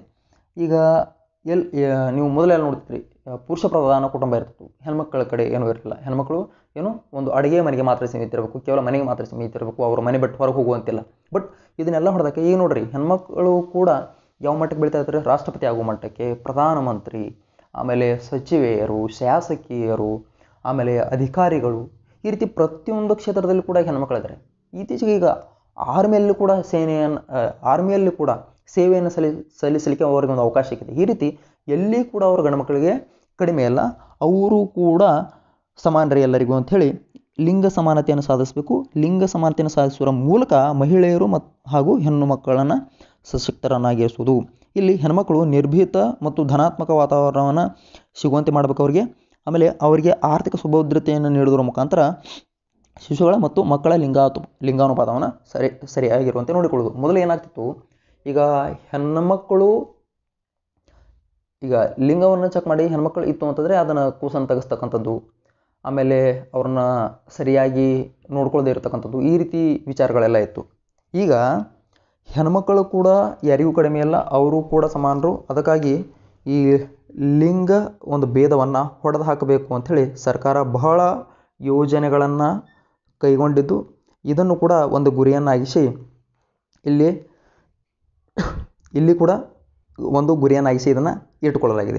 ಇಲ್ಲಿ ಮುಖ್ಯವಾಗಿ ಶಿಶುಗಳ ಮತ್ತು ಮಕ್ಕಳ ಲಿಂಗಾನುಪಾತವನ್ನು ಸಮನಾಗಿರುವಂತೆ ನೋಡಿಕೊಳ್ಬೇಕು. ಈಗಲಾದರೂ ಕೂಡ ಕರ್ನಾಟಕದಲ್ಲೂ ಕೂಡ ಗಂಡು ಮಕ್ಕಳ ಸಂಖ್ಯೆ ಹೆಚ್ಚಿದೆ ಹೆಣ್ಣುಮಕ್ಕಳ ಸಂಖ್ಯೆ ಕಡಿಮೆ ಇದೆ. ಆ ಲಿಂಗದ ಅನುಪಾತವನ್ನು ಸಮನಾಗಿರಿಸಬೇಕು ಅನ್ನೋದು ಈ ಗುರಿಯ ಮುಖ್ಯ ಉದ್ದೇಶ. ಓಕೆ? ಇನ್ನು ಗುರಿ ಆರು, ಸ್ವಚ್ಛ ನೀರು ಮತ್ತು ನೈರ್ಮಲ್ಯ. ಸ್ವಚ್ಛ ನೀರು ಮತ್ತು ನೈರ್ಮಲ್ಯ. ನೀರು ನಮ್ಮ ದಿನನಿತ್ಯ ಜೀವನದ ಬಹುಮುಖ್ಯ ಭಾಗ. ಈ ಗಾಳಿ, ನೀರು, ಬೆಳಕು ಇವು ಬಹಳ ಬಹಳ ಇಂಪಾರ್ಟೆಂಟ್ ಅದರಲ್ಲಿ ನೀರು ನೀರು ಬಹಳ ಇಂಪಾರ್ಟೆಂಟ್ ಈ ನಮ್ಮ ಆರೋಗ್ಯವನ್ನು ನಿರ್ಧರಿಸುವಲ್ಲಿ ನೀರು ಕೂಡ ಅತ್ಯಂತ ಪ್ರಮುಖ ಪಾತ್ರವನ್ನು ವಹಿಸುತ್ತೆ ಇಲ್ಲಿ ಎಲ್ಲರಿಗೂ ನೀರು ಮತ್ತು ನೈರ್ಮಲ್ಯದ ಲಭ್ಯತೆ ಹಾಗೂ ಅವರ ಸುರ, ಸುಸ್ಥಿರ ನಿರ್ವಹಣೆಯನ್ನು ಖಾತ್ರಿಗೊಳಿಸುವುದು. ಇಲ್ಲಿ ಎಲ್ಲರಿಗೂ ಸುರಕ್ಷಿತ ಮತ್ತು ಅವಶ್ಯವಿರುವಷ್ಟು ಕುಡಿಯುವ ನೀರನ್ನು ಲಭ್ಯವಾಗುವಂತೆ ಮಾಡುವುದು. ಈ ನೋಡ್ರಿ, ನೀರು, ಇಡೀ ಭೂಮಿಯ ಮೇಲೆ ಸೆವೆಂಟಿ ಒನ್ ಪರ್ಸೆಂಟ್ ನೀರಿದೆ ಟ್ವೆಂಟಿ ನೈನ್ ಪರ್ಸೆಂಟ್ ಭೂಮಿ ಇದೆ ಈ ಸೆವೆಂಟಿ ಒನ್ ಪರ್ಸೆಂಟ್ ನೀರನ್ನು ನಾವು ಕಂಪ್ಯಾರಿಸನ್ ಮಾಡಿ ತೆಗೆದುಕೊಂಡಾಗ ಎಪ್ಪತ್ತೊಂದು ಪರ್ಸೆಂಟ್ನಲ್ಲಿ ನಮಗೆ ಕುಡಿಲಿಕ್ಕೆ, ಬಳಸಲಿಕ್ಕೆ ನೀರು ಸಿಗೋದು point zero zero zero one ಪರ್ಸೆಂಟ್ಗಿಂತನೂ ಕಡಿಮೆ. ತಿಳಿತಾ ಎಪ್ಪತ್ತೊಂದು ಪರ್ಸೆಂಟ್ ನೀರಿದ್ರು ಕೂಡ ಬಳಕೆ ಸಿಗೋದು ತುಂಬ ಕಡಿಮೆ. ನಾವು ಇದರಲ್ಲೇ ಅರ್ಥ ಮಾಡ್ಕೋಬೇಕು, ನಾವು ಯಾವ ರೀತಿಯಾಗಿ ನೀರನ್ನು ಬಳಸಬೇಕು ಅಂಥೇಳಿ ಎಷ್ಟು ಮಟ್ಟಿಗೆ ನೀರನ್ನು ಬಳಸಬೇಕು ಅಂಥೇಳಿ ತಿಳಿತಾ?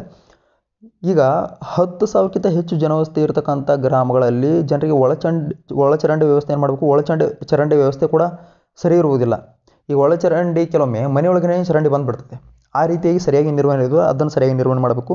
ಮತ್ತು ಶೇಕಡ ನೂರಷ್ಟು ನಗರ ಪ್ರದೇಶಗಳಲ್ಲಿ ವಾಸವಾಗಿರುವ ಜನರಿಗೆ ಒಳಚರಂಡಿ ವ್ಯವಸ್ಥೆ ಮತ್ತು ಒಳಚರಂಡಿ ನೀರಿನ ಸಂಸ್ಕರಣಾ ಘಟಕಗಳನ್ನ ಸ್ಥಾಪನೆ ಮಾಡಬೇಕು ಅನ್ನೋದು ಈ ಗುರಿ ಆರರ ಮುಖ್ಯ ಉದ್ದೇಶ. ಇದು ಅತ್ಯಂತ ನೀಡಿರ್ತಕ್ಕಂಥದ್ದು. ಇದನ್ನು ಅತ್ಯಂತ ವೇಗವಾಗಿ ಮಾಡಬೇಕಾದ ಅವಶ್ಯಕತೆ ಇದೆ. ಇನ್ನು ಗುರಿ ಏಳು ಹೇಳ್ತದೆ, ಕೈಗೆಟಕಬಹುದಾದ ಮತ್ತು ಸು, ಶುದ್ಧ ಇಂಧನ ಶಕ್ತಿ. ಇಲ್ಲಿ ಸಾರ್ವತ್ರಿಕವಾಗಿ ಎಲ್ರಿಗೂ ಏನು ಸಿಗಬೇಕು? ಒಂದು ಇಂಧನ, ನವೀಕೃತ ಇಂಧನ ಸಿಗುವಂತೆ ಮಾಡಬೇಕು. ಶುದ್ಧ ಶಕ್ತಿಯ ಪಾಲು ಸುಸ್ಥಿರವಾಗಿ ಅಭಿವೃದ್ಧಿಪಡಿಸಿದ ಎಲ್ಲರಿಗೂ ಲಭಿಸುವಂತೆ ಮಾಡಬೇಕು. ಇಲ್ಲಿ ಇಂಧನ ಅಂತಕ್ಕಂಥದ್ದು ಬಹಳ ಬಹಳ ಇಂಪಾರ್ಟೆಂಟ್ ಈಗ ನಾವು ದಿನನಿತ್ಯ ಜೀವನವನ್ನು ಸಾಗಿಸಬೇಕಾದ್ರೆ ನಮಗೆ ಶಕ್ತಿ ಇಂಧನ ಬೇಕಾಗ್ತದೆ. ಅದಕ್ಕಾಗಿ ಅದನ್ನು ಸರಿಯಾಗಿ ಎಲ್ಲರಿಗೂ ಹಂಚಿಕೆ ಮಾಡುವುದು ಅತ್ಯಂತ ಅವಶ್ಯಕ. ಅದನ್ನು ಗುರಿ ಏಳನ್ನಾಗಿ ಇಟ್ಟುಕೊಳ್ಳಲಾಗಿದೆ. ಇನ್ನು ಗುರಿ ಎಂಟು, ಕೆಲಸ ಮತ್ತು ಆರ್ಥಿಕ ಬೆಳವಣಿಗೆ. ಅಂಥ ಕೆಲಸದು ಗೌರವಯುತ ಕೆಲಸ ಮತ್ತು ಆರ್ಥಿಕ ಬೆಳವಣಿಗೆ. ಎಲ್ಲರಿಗೂ ಸುಸ್ಥಿರವಾದ ಸಮನ್ವಯ ಮತ್ತು ಸುಸ್ಥಿರ ಆರ್ಥಿಕ ಬೆಳವಣಿಗೆ, ಸಂಪೂರ್ಣ ಮತ್ತು ಉತ್ಪಾದಕ ಉದ್ಯೋಗ ಹಾಗೂ ಗೌರವಯುತವಾದ ಕೆಲಸವನ್ನು ಉತ್ತೇಜಿಸುವುದು. ಇಲ್ಲಿವರೆದು ಆರ್ಥಿಕ ಬೆಳವಣಿಗೆ ಆಗಬೇಕು, ಆಮೇಲೆ ಉತ್ಪಾದನೆ ಆಗಬೇಕು, ಅವರಿಗೆ ಕೆಲಸ ಕೂಡ ಸಿಗಬೇಕು. ನೋಡಿರಿ, ರಾಜ್ಯದ ಆದಾಯ ಅಭಿವೃದ್ಧಿ ಸುಸ್ಥಿರತೆಯನ್ನು ಸರವಾಗಿ ಮಾಡ್ತದೆ. ಎಲ್ಲರಿಗೂ ಉದ್ಯೋಗ ಸಿಗುತ್ತಾ ಹೋಯಿತು ಅಂತಂದರೆ, ಅಂದರೆ ಯಾರು ಕೆಪೇಬಲ್ ಅದಾರೋ ಅವ್ರಿಗೆಲ್ಲ ಉದ್ಯೋಗ ಸಿಗುತ್ತಾ ಹೋಯಿತು ಅಂತಂದರೆ, ರಾಜ್ಯದ ಆದಾಯ ಅಭಿವೃದ್ಧಿ ಆಗೇ ಆಗ್ತದೆ. ಸೂಕ್ಷ್ಮ, ಸಣ್ಣ ಮತ್ತು ಮಧ್ಯಮ ಉದ್ಯಮಗಳ ಶಕ್ತಿ, ಸಾಮರ್ಥ್ಯವನ್ನು ಏನು ಮಾಡ್ಬೋದು ನಾವು? ಅಭಿವೃದ್ಧಿಪಡಿಸ್ಬೋದು. ಇಲ್ಲಿ ಇದನ್ನು ಇದಾಗ್ತಾ ಹೋದಂತೆ ಕಾಂಪಿಟೇಷನ್ ಬೆಳಲಿಕ್ಕೆ ಶುರು ಆಗ್ತದೆ ಕಾಂಪಿಟೇಷನ್ ಬೆಳೀತು ಅಂತಾರೆ. ಕಾಂಪಿಟೇಷನ್ ಇರಬೇಕು. ಕಾಂಪಿಟೇಷನ್ ಇದ್ದಾಗ ಮಾತ್ರ ಚೆನ್ನಾಗಿ ಡೆವಲಪ್ಮೆಂಟ್ ಆಗ್ಬೋದು. ಅದು ಇಲ್ಲಿ ಈ ಆರ್ಥಿಕ ಬೆಳವಣಿಗೆಯಲ್ಲಿ ಅತ್ಯಂತ ಮುಖ್ಯ ಪಾತ್ರವನ್ನು ವಹಿಸ್ತದೆ. ಅದಕ್ಕಾಗಿ ರಾಜ್ಯ ಆದಾಯ, ಅಭಿವೃದ್ಧಿಯ ಸುಸ್ಥಿರತೆಯನ್ನು ಸರಾಗ ಮಾಡುವುದು, ಸೂಕ್ಷ್ಮ, ಸಣ್ಣ ಮತ್ತು ಮಧ್ಯಮ ಉದ್ಯಮಗಳ ಶಕ್ತಿ ಸಾಮರ್ಥ್ಯವನ್ನು ಮತ್ತು ಅದರ ಸ್ಪರ್ಧಾತ್ಮಕ ಲಕ್ಷಣಗಳನ್ನು ಅಭಿವೃದ್ಧಿಪಡಿಸುವುದು ಗುರಿ ಅಂಟರ ಮುಖ್ಯ ಉದ್ದೇಶ. ಇನ್ನು ಗುರಿ ಒಂಬತ್ತು. ಏನು ಹೇಳ್ತಂದರೆ ಉದ್ಯಮ ಆವಿಷ್ಕಾರ ಮತ್ತು ಮೂಲ ಸೌಕರ್ಯ. ಇಲ್ಲಿ ಟೆಕ್ನಾಲಜಿ ವಿಚಾರಗಳು ಬರ್ತವೆ. ಈ ಮಾಹಿತಿ ತಂತ್ರಜ್ಞಾನ ಆಗಿರ್ಬೋದು. ಈಗ ವಿಚಾರ ಮಾಡಿರಿ. ಮಾಹಿತಿ ತಂತ್ರಜ್ಞಾನ ಸಿಂಪಲ್ ಈಗ ನಾವು ಒಂದು ವಾರ ಊಟ ಇಲ್ಲದೆ ನೀರಿಲ್ಲದೆ ಬದುಕ್ಬೋದು. ಮನಸ್ಸು ಮಾಡಿದ್ರೆ. ಮನಸ್ಸು ಮಾಡಿದ್ರೆ ಊಟ ನೀರಲ್ಲದೆ ಇರಬಾರ್ದು. ಆದರೆ ಒಂದು ಕ್ಷಣ ಇಂಟರ್ನೆಟ್ ಇಲ್ಲದೆ ಮನುಷ್ಯನಿಗೆ ಇರೋಕ್ಕಾಗೋದಿಲ್ಲ ಈಗ. ಓಕೆ ನಿಮಗೆಲ್ಲರಿಗೂ ಗೊತ್ತಿರ್ತಕ್ಕಂಥ ವಿಚಾರ ಅದು. ಅದಕ್ಕಾಗಿ ಉದ್ಯಮ ಮತ್ತು ಆವಿಷ್ಕಾರ, ಉದ್ಯಮ, ಆವಿಷ್ಕಾರ ಮತ್ತು ಮೂಲಸೌಕರ್ಯ ಇಲ್ಲಿ ಮೂಲ ಸೌಕರ್ಯಗಳನ್ನು ನಿರ್ಮಿಸಿ ಸುಸ್ಥಿರಾದ ಕೈಗಾರಿಕೆಗಳನ್ನ ಮತ್ತು ಆವಿಷ್ಕಾರಗಳನ್ನು ಉತ್ತೇಜಿಸುವುದು. ಇಲ್ಲಿ ಸ್ಥಿತಿಸ್ಥಾಪಕವುಳ್ಳ ಮತ್ತು ವಿಶ್ವಾಸಾರ್ಹ ಮೂಲಸೌಕರ್ಯಗಳಾದ ಸೌಕರ್ಯಗಳಾದ ರಸ್ತೆ, ವಿಮಾನ ನಿಲ್ದಾಣ, ಮಾಹಿತಿ ತಂತ್ರಜ್ಞಾನ ಮತ್ತು ಹಸಿರು ತಂತ್ರಜ್ಞಾನ ಮತ್ತು ಆವಿಷ್ಕಾರಗಳ ಅಭಿವೃದ್ಧಿ. ಈ ರೀತಿ ಮನುಷ್ಯನಿಗೆ ಯಾವ ಯಾವ ಎಲ್ಲ ನೀಡೆಡ್ ವಿಚಾರಗಳದಾವೋ, ಅವೆಲ್ಲವನ್ನು ನೀಡಬೇಕು ಅಂತಕ್ಕಂಥ ಗುರಿ ಒಂಬತ್ತು ಹೇಳ್ತದೆ. ಓಕೆ. ಇನ್ನು ಗುರಿ ಹತ್ತು ಅಸಮಾನತೆಗಳ ಇಳಿಕೆ. ಇಲ್ಲಿ ದೇಶದೊಳಗಿರ್ತಕ್ಕಂಥ ಏನೊಂದು ಅಸಮಾನತೆ ಇದೆಯೋ ಅದನ್ನು ನಿರ್ಮೂಲನೆಗೊಳಿಸ್ಬೇಕು. ಇಲ್ಲಿ ಫಾರ್ ಎಕ್ಸಾಂಪಲ್ ಶಿಕ್ಷಣ ಆಗಿರ್ಬೋದು ಅಡ್ಮಿನಿಸ್ಟ್ರೇಷನ್ ಆಗಿರ್ಬೋದು, ಆಮೇಲೆ ಡಿಫೆನ್ಸ್ ಆಗಿರ್ಬೋದು, ಆಮೇಲೆ ಸೋಷಿಯಲ್ ಆ್ಯಂಡ್ ಎಕನಾಮಿಕ್ ಕೆಲವೊಂದು ಸೆಕ್ಟರ್ ಇರುತ್ತೆ ಜೋನ್ ಇರುತ್ತೆ. ಅಲ್ಲಿ ಈ ಅಲ್ಲಿ, ಅಲ್ಲಿರ್ತಕ್ಕಂಥ ಒಂದು ವಲಯಗಳಿದಾವೆ ಆ ವಲಯಗಳ ಮಧ್ಯೆ ಸಮಾನತೆ ಇಲ್ಲ. ಅಲ್ಲಿ ತಾನು ಹೆಚ್ಚು ತಾನು ಹೆಚ್ಚು ಅಂತಕ್ಕಂತಹ ಕೆಲವೊಂದು ಪಿಡುಗಳಿವೆ ಅದನ್ನೆಲ್ಲ ಹೋಗಲಾಡಿಸಿ ದೇಶದೊಳಗೆ ನಾವೆಲ್ಲ ಒಂದೇ. ಆ ಅಸಮಾನತೆಗಳು ಏನು, ಆ ವಲಯಗಳ ಮಧ್ಯೆ, ಆ ಜೋನ್ಗಳ ಮಧ್ಯೆ ಏನು ಒಂದು ಏರಿಳಿತ ಇದೆಯೋ ಏರಿಳಿತ ಏನಿದೆಯೋ ಆ ಏರಿಳಿತವನ್ನು ಸಮಾನವಾಗಿ ತರಬೇಕು ಅನ್ನೋದು ಹತ್ತನೇ ಗುರಿ. ಅಸಮಾನತೆಗಳ ಇಳಿಕೆ. ಶಿಕ್ಷಣ, ಅಧಿಕಾರ, ರಕ್ಷಣೆ ಮತ್ತು ಸಾಮಾಜಿಕ ಹಾಗೂ ಆರ್ಥಿಕ ವಲಯಗಳಲ್ಲಿ ಎಲ್ಲರನ್ನು ಒಗ್ಗೂಡಿಸಿಕೊಳ್ಳುವ, ಅಂದರೆ ಎಲ್ಲರೂ ಒಂದೇ ಅಂದ್ಕೊಂಡು ಕೆಲಸವನ್ನು ಮಾಡಬೇಕು. ಒಗ್ಗೂಡಿಸಿಕೊಳ್ಳುವ ಮುಖಾಂತರ ಅಸಮಾನತೆಯನ್ನು ನಿರ್ಮೂಲನೆ ಮಾಡಿ ಎಲ್ಲರಿಗೂ ಸಮಾನ ಅವಕಾಶ ಸಿಗುವಂತೆ ಮಾಡ್ತಕ್ಕಂಥದ್ದು. ಇನ್ನು ಗುರಿ ಹನ್ನೊಂದು. ಸುಸ್ಥಿರ ನಗರಗಳು ಮತ್ತು ಸಮುದಾಯ. ಇಲ್ಲಿ ಸ್ಮಾರ್ಟ್ ಸಿಟಿ ಅಂತೇಳಿ ಬರ್ತದೆ. ಸುಸ್ಥಿರ ನಗರಗಳು ಅಂತಂದರೆ ಈಗೇನು ನಗರಗಳಿದಾವೋ. ಅವುಗಳನ್ನ ಅಭಿವೃದ್ಧಿ ಮಾಡೋದು ಈಗ ಒಂದು ಸಲ ಅಭಿವೃದ್ಧಿ ಮಾಡಿದರೆ ಅದು ಎಷ್ಟೋ ವರ್ಷಕ್ಕೆ ಬರುವಂತೆ ಮಾಡುವುದು. ಸುಸ್ಥಿರ ನಗರಗಳು ಮತ್ತು ಸಮುದಾಯಗಳು. ನಗರಗಳನ್ನು ಮತ್ತು ಜನವಸತಿ ಪ್ರದೇಶಗಳನ್ನು ಸಮನ್ವಯ, ಸುರಕ್ಷಿತ ಮತ್ತು ಸದೃಢ ಮತ್ತು ಸುಸ್ಥಿರಗೊಳಿಸುವುದು. ನೋಡ್ರಿ, ಇಲ್ಲಿ ಮುಖ್ಯ ಉದ್ದೇಶ ಎಲ್ಲರಿಗೂ ಕೈಗೆಟಕತಕ್ಕಂಥ ದರದಲ್ಲಿ ವಸತಿಗಳನ್ನ ಲಭಿಸುವಂತೆ ಮಾಡುವುದು. ಯಾಕಂತಂದರೆ ಈಗ ನಿಮ್ಗೆ ಗೊತ್ತಿದೆ, ಒಂದು ಮನೆಯನ್ನು ಕಟ್ಟಬೇಕು ಅಂತಂದರೆ ಎಷ್ಟು ಖರ್ಚಾಗ್ತದೆ? ಒಂದು ಒಂದು ಏರಿಯಾನ ಡೆವಲಪ್ ಮಾಡಬೇಕು ಅಂತ ಎಷ್ಟು ಖರ್ಚಾಗ್ತದೆ?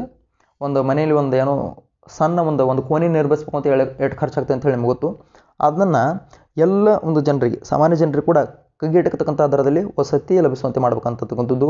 ಅದರ ಜೊತೆಗೆ ಸುಸ್ಥಿರ ಹಾಗೂ ಸುರಕ್ಷಿತ ಸಾರಿಗೆ ವ್ಯವಸ್ಥೆಗೆ ಆದ್ಯತೆಯನ್ನು ನೀಡುವುದು. ಓಕೆ ಇದು ವೆರಿ ವೆರಿ ಇಂಪಾರ್ಟೆಂಟ್ ಇದು. ಓಕೆ ಇಡೀ ದೇಶದ ನರನಾಡಿಗಳಿದೆ ಅಂತ ಯಾವುದು? ಸಾರಿಗೆ ವ್ಯವಸ್ಥೆ ಇದು. ಅದಕ್ಕಾಗಿ ಸುಸ್ಥಿರ ಹಾಗೂ ಅತ್ಯಂತ ಸುರಕ್ಷಿತ ಸಾರಿಗೆ ವ್ಯವಸ್ಥೆಗೆ ಆದ್ಯತೆ ನೀಡುವುದರ ಜೊತೆಗೆ ಸ್ಮಾರ್ಟ್ ಸಿಟಿಗಳ ಅಭಿವೃದ್ಧಿ. ನಮ್ಮ ಕರ್ನಾಟಕದಲ್ಲಿ ಕೂಡ ನಗರಗಳನ್ನು ಸ್ಮಾರ್ಟನ್ನಾಗಿಸಬೇಕು ಅಂಥೇಳಿ ಕ್ರಮಗಳನ್ನ ಆಲ್ರೆಡಿ ಕೈಗೊಳ್ಳಲಾಗಿದೆ. ಇನ್ನು ಗುರಿ ಹನ್ನೆರಡು ಏನು ಹೇಳ್ತದೆ? ಸುಸ್ಥಿರ ಬಳಕೆ ಮತ್ತು ಉತ್ಪಾದನೆ. ಇಲ್ಲಿ ಸಮರ್ಥವಾಗಿ ಏನು ಮಾಡಬೇಕು? ತ್ಯಾಜ್ಯವನ್ನು ನಿರ್ಮಾಣ ನಿರ್ವಹಣೆ ಮಾಡಬೇಕು. ಈಗ ಎಲ್ಲೆಂದರಲ್ಲಿ ತ್ಯಾಜ್ಯವನ್ನು ಎಸೆಯುವುದಲ್ಲ? ಈಗ ಸರ್ಕಾರ ಕೆಲವೊಂದು ಕ್ರಮಗಳನ್ನ ಕೈಗೊಂಡಿದೆ. ಈ ಸ್ವಚ್ಛತಾ ಆ್ಯಪ್ ಅಂತ ಹೇಳಿ ಮಾಡಿದೆ. ಎಲ್ಲಾದರೂ ತ್ಯಾಜ್ಯ ಬಿದ್ದಿತ್ತು ಅಂತಂದರೆ ಅದನ್ನು ನಾವು ಫೋಟೋ ಹೊಡೆದು ಅಲ್ಲಿ ಸ್ವಚ್ಛತಾ ಆ್ಯಪ್ನಲ್ಲಿ ಹಾಕಿದಾಗ ಆ ಬಿ ಬಿ ಎಂ ಪಿ ಅವರು ಬಂದು ಅದನ್ನು ಕ್ಲಿಯರ್ ಕ್ಲಿಯರಾಗಿ ಸ್ವಚ್ಛ ಮಾಡಿ ತೆಗೆದುಕೊಂಡು ಹೋಗ್ತಾರೆ. ಹೀಗೆ ಕೆಲವೊಂದು ಇನಿಷಿಯೇಟಿವ್ಗಳನ್ನು ಸರ್ಕಾರ ಮಾಡಿ ತ್ಯಾಜ್ಯದ ನಿರ್ವಹಣೆಗೆ ಬಹಳ ಮುಖ್ಯವಾದ ಒತ್ತನ್ನು ಕೊಟ್ಟಿದೆ. ಮತ್ತು ನೈಸರ್ಗಿಕವಾಗಿ ಏನು ಸಂಪನ್ಮೂಲಗಳು ಲಭಿಸ್ತಾವೋ ಅವುಗಳನ್ನ ಸದ್ಬಳಕೆ ಮಾಡೋಕ್ಕೆ ಹೋಗಬೇಕು ಎಲ್ಲೆಂದರಲ್ಲಿ ಬಳಸುವಂಥದ್ದಲ್ಲ ಈಗ ಮುಗಿದು ಹೋಗ್ತಕ್ಕಂಥ ಸಂಪನ್ಮೂಲಗಳಿವೆ. ಆ ಮುಗಿದು ಹೋಗ್ತಕ್ಕಂಥ ಸಂಪನ್ಮೂಲಗಳನ್ನ ಬಹಳ ಅಚ್ಚುಕಟ್ಟಾಗಿ ನಿರ್ವಹಣೆ ಮಾಡಬೇಕು. ಅಕಸ್ಮಾತಾಗಿ ಈ ಸಂಪನ್ಮೂಲಗಳನ್ನ ಮನಸ್ಸಿಗೆ ಬಂದಂತೆ ನಾವೆಲ್ಲೇ ಬ ನಾವೆಲ್ಲಾದರೂ ಬಳಸಿದ್ದೇ ಆದಲ್ಲಿ ಮುಂದಿನ ತಲೆಮಾರಿಗೆ ನಾವು ಸ್ವಚ್ಛಂದವಾದ ಪರಿಸರವನ್ನು ಕೊಡಲಿಕ್ಕೆ ಸಾಧ್ಯವಿಲ್ಲ. ಓಕೆ, ಅದಕ್ಕಾಗಿ ಗುರಿ ಹನ್ನೆರಡು, ಸುಸ್ಥಿರ ಬಳಕೆ ಮತ್ತು ಉತ್ಪಾದನೆ. ಓಕೆ, ಇನ್ನು ಗುರಿ ಹದಿಮೂರು. ಗುರಿ ಹದಿಮೂರು, ಹವಾಮಾನ ಕ್ರಮ. ವೆರಿ ವೆರಿ ಇಂಪಾರ್ಟೆಂಟ್ ಹವಾಮಾನ ಬದಲಾವಣೆ ಮತ್ತು ಅದರ ಪರಿಣಾಮಗಳನ್ನು ತಡೆಯಲು ತುರ್ತು ಕ್ರಮಗಳನ್ನು ಕೈಗೊಳ್ಳುವುದು. ಈಗ ಗೊತ್ತಿರ್ಬೋದು ನಿಮಗೆ, ಈ ಹವಾಮಾನ, ವಾಯುಗುಣ. ಹವಾಮಾನ ಅಂತಂದರೆ ಡೇ ಟು ಡೇ ಚೇಂಜಸ್ ವಾಯುಗುಣ ಅಂತಂದರೆ ಸುದೀರ್ಘವಾದ ಬದಲಾವಣೆ. ಇಲ್ಲಿ ಇತ್ತೀಚಿನ ದೆಹಲಿ ಗೊತ್ತಿರ್ಬೋದು ನಿಮಗೆ. ದೆಹಲಿಯಲ್ಲಿ ಎನ್ವಿರಾನ್ಮೆಂಟಲ್ ಎಮರ್ಜೆನ್ಸಿ ಏನು ಹೇಳಿದರು. ಎನ್ವಿರಾನ್ಮೆಂಟಲ್ ಎಮರ್ಜೆನ್ಸಿ ಪರಿಸರದ ತುರ್ತು ಪರಿಸ್ಥಿತಿ. ಯಾಕೆ? ಆ ಮಟ್ಟಿಗಿನ ಏನು ಉಂಟಾಗಿತ್ತು? ಮಾಲಿನ್ಯ ಉಂಟಾಗಿತ್ತು ಅಲ್ಲಿ. ಅದಕ್ಕಾಗಿ ಈ ಹವಾಮಾನ ಕ್ರಮಗಳನ್ನು ಕೈಗೊಳ್ಳೋದು ಅತ್ಯಂತ ಇಂಪಾರ್ಟೆಂಟ್ ಆಗ್ತದೆ. ಸುಸಜ್ಜಿತ ರೀತಿಯಲ್ಲಿ ವಾತಾವರಣದ ಬದಲಾವಣೆಯನ್ನು ಎಲ್ಲ ಇಲಾಖೆಗಳನ್ನ ಸಂಯೋಜಿಸುವುದು ಈ ಹವಾಮಾನ ಕ್ರಮವಾಗಿರತಕ್ಕಂಥದ್ರ ಮುಖ್ಯ ಉದ್ದೇಶ. ಇದು ಗುರಿ ಹದಿಮೂರು ಬಗ್ಗೆ. ಏನು? ಹವಾಮಾನವನ್ನು ಸರಿಯಾಗಿ ಇಟ್ಟುಕೊಳ್ಬೇಕು ಒಳ್ಳೆಯ ರೀತಿಯಲ್ಲಿ ಅಂದರೆ ಹವಾಮಾನ ಸರಿಯಾಗಿತ್ತು, ವಾಯುಗುಣ ಸರಿಯಾಗಿತ್ತು ಅಂತಂದರೆ ನಮ್ಮ ಜೀವನ ಕೂಡ ಸರಿಯಾಗಿ ಸುಸ್ಥಿರವಾಗಿರ್ತದೆ. ಓಕೆ. ಇನ್ನು ಗುರಿ ಹದಿನಾಲ್ಕು, ಜಲದ ಜೀವರಾಶಿ. ನೋಡ್ರಿ, ಸುಸ್ಥಿರ ವೃದ್ಧಿಗಾಗಿ ಮಹಾಸಾಗರಗಳು, ಸಮುದ್ರಗಳು ಮತ್ತು ಸಾಗರ ಸಂಪನ್ಮೂಲಗಳನ್ನು ಉಳಿಸುವುದು ಮತ್ತು ಸುಸ್ಥಿರವಾಗಿ ಬಳಸುವುದು. ಇಲ್ಲಿ ನೀವು ಅನಿಸ್ಬೋದು ಈ ಸಾಗರಗಳಿಂದ ಏನು ಅನುಕೂಲ ಇದೆ? ಬರೀ ಉಪ್ಪು ನೀರಿದೆ, ನಾವೇನು ಅಲ್ಲಿ ನೀರನ್ನ ಬಳಸ್ಕೊಳ್ಳೋಕ್ಕಾಗೋದಿಲ್ಲ ಪರ್ಸನಲ್ ಯೂಸ್ ಮಾಡೋಕ್ಕೆ ಬರಲ್ಲ. ಅದನ್ನು ನೀರು ಕುಡಿಯೋಕ್ಕಾಗಲ್ಲ ಏನು ಮಾಡ್ಬೋದು? ಅಂತೇಳಿ ಡೌಟ್ ಇರ್ಬೋದು. ನಿಮಗೆ ಒಂದು ಗೊತ್ತಿರಲಿ, ಪರಿಸರ ಅದಕ್ಕೆಲ್ಲವೂ ಗೊತ್ತಿದೆ. ಪರಿಸರ ಬಹಳ ಸ್ಟ್ರಾಂಗ್ ಇಲ್ಲಿ ಮಹಾಸಾಗರ, ಸಮುದ್ರ ಸಾಗರವನ್ನು ಕೂಡ ಯಾಕೆ ಉಳಿಸ್ಬೇಕು ಅಂತಂದರೆ, ಈಗ ಫಾರ್ ಎಕ್ಸಾಂಪಲ್ ಮಾನವನ ಚಟುವಟಿಕೆಯಿಂದ ಪರಿಸರದಲ್ಲಿ ಹೆಚ್ಚಿನ ಪ್ರಮಾಣದಲ್ಲಿ ಕಾರ್ಬನ್ ಉಂಟಾಗುತ್ತದೆ ಅಂತ ಅಂದ್ಕೊಳ್ಳಿ ಹೆಚ್ಚಿನ ಕಾರ್ಬನ್ ಉಂಟಾದಾಗ ಉಂಟಾದಾಗ ಮನುಷ್ಯನ ಮೇಲೆ ವ್ಯತಿರಿಕ್ತ ಪರಿಣಾಮ ಬೀರೋಕ್ಕೆ ಶುರು ಆಗ್ತದೆ. ಅವಾಗ ಅತ್ಯಂತ ಹೆಚ್ಚಿನ ಪ್ರಮಾಣದಲ್ಲಿ ವಾತಾವರಣಕ್ಕೆ ಕಾರ್ಬನ್ ಬಂದಾಗ ಅದನ್ನು ಸಮುದ್ರ ಸಾಗರಗಳು ತಮ್ಮಲ್ಲಿ ಸಂಗ್ರಹಿಸಿ ಇಟ್ಕೊಳ್ತವೆ ಗೊತ್ತಿರಲಿ ನಿಮಗೆ? ಒನ್ಸ್ ಅಗೇನ್ ನಾನು ರಿಪೀಟ್ ಮಾಡ್ತೀನಿ. ಸಮುದ್ರ ಸಾಗರದಲ್ಲಿ ಏನಾಗ್ತದೆ? ವಾತಾವರಣದಲ್ಲಿ ಹೆಚ್ಚಿನ ಕಾರ್ಬನ್ ಸಂಗ್ರಹಣೆ ಆದಾಗ ಅದು ಅದನ್ನು ಏನು ಮಾಡ್ತದೆ? ಸಮುದ್ರ ಸಾಗರಗಳು ತಮ್ಮಲ್ಲಿ ಸಂಗ್ರಹಿಸಿ ಇಟ್ಟುಕೊಳ್ತವೆ.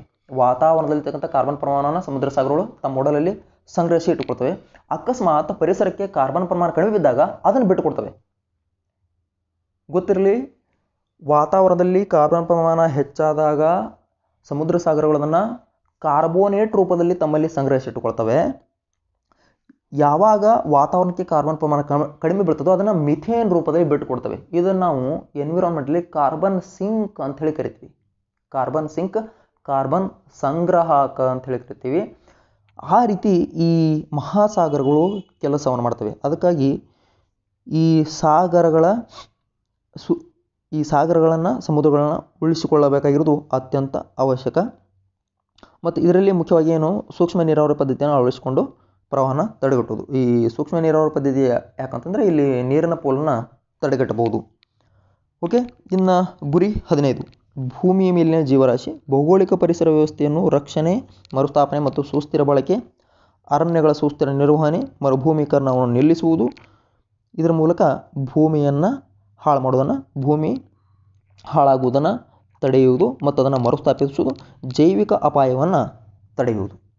ಓಕೆ ನೋಡ್ರಿ ಎಷ್ಟಿವೆ? ಭೂಮಿಯ ಮೇಲಿನ ಜೀವರಾಶಿ, ಭೂಮಿಯ ಮೇಲಿನ ಜೀವರಾಶಿ, ಭೌಗೋಳಿಕ ಪರಿಸರ ವ್ಯವಸ್ಥೆ, ರಕ್ಷಣೆ. ನಾವೇನು ಈಗ ಬದುಕ್ತಾ ಇದ್ದೀವೋ ಈ ಪರಿಸರ ವ್ಯವಸ್ಥೆನ ಸಂರಕ್ಷಣೆ ಮಾಡ್ಬೋದು, ಅದನ್ನು ಮತ್ತೆ ಮರುಸ್ಥಾಪನೆ ಮಾಡ್ಬೋದು. ಮೊದಲು ಚೆನ್ನಾಗಿತ್ತು, ಆಮೇಲೆ ಮನುಷ್ಯ ಅದನ್ನು ಆಧುನಿಕತೆಯಲ್ಲಿ ಬಂದು ಹಾಳು ಮಾಡಿದ ಮತ್ತು ಅದನ್ನು ಮರುಸ್ಥಾಪಿಸುವುದು. ಓಕೆ, ಅದ್ರ ಜೊತೆಗೆ ಅರಣ್ಯಗಳ ಸುಸ್ಥಿರ ನಿರ್ವಹಣೆ. ಅರಣ್ಯಗಳ ಸುಸ್ಥಿರ ನಿರ್ವಹಣೆ ಮಾಡಬೇಕು ಅಂತಂದರೆ ಮುಖ್ಯ ಎರಡು ವಿಚಾರ ಬರ್ತದೆ ಒಂದು, ಜಂಟಿ ಅರಣ್ಯ ನಿರ್ವಹಣೆ, ಇನ್ನೊಂದು ಸಾಮಾಜಿಕ ಅರಣ್ಯಗಾರಿಕೆ. ಏನು ಜಂಟಿ ಅರಣ್ಯ ನಿರ್ವಹಣೆ? ಸರ್ಕಾರ ಸಾರ್ವಜನಿಕರು ಕೂಡಿ ಆ ಅರಣ್ಯವನ್ನು ಸಂರಕ್ಷಣೆ ಮಾಡ್ತಿದ್ದೀರಿ? ಅದಕ್ಕೆ ನಾವು ಜಂಟಿ ಅರಣ್ಯ ನಿರ್ವಹಣೆ ಅಂತ ಕರಿತೀವಿ. ಇದ್ರ ಜೊತೆಗೆ ಇನ್ನೊಂದು ಬರ್ತದೆ ಸಾಮಾಜಿಕ ಅರಣ್ಯಗಾರಿಕೆ. ಸಾಮಾಜಿಕ ಅರಣ್ಯಗಾರಿಕೆ ಅಂದರೆ ಜನರಿಂದ ಜನರಿಗಾಗಿ, ಜನರಿಗೋಸ್ಕರ ಇರತಕ್ಕಂಥ ಅರಣ್ಯಗಾರಿಕೆ, ಸಾಮಾಜಿಕ ಅರಣ್ಯಗಾರಿಕೆ. ಓಕೆ ಇದು ಅರಣ್ಯಗಳ ಸುಸ್ಥಿರ ನಿರ್ವಹಣೆ. ಇನ್ನು ಮರುಭೂಮೀಕರಣವನ್ನು ನಿಲ್ಲಿಸುವುದು. ಅಂದರೆ ಭೂಮಿ ಬರಡಾಗುವುದನ್ನು ನಿಲ್ಲಿಸುವುದು.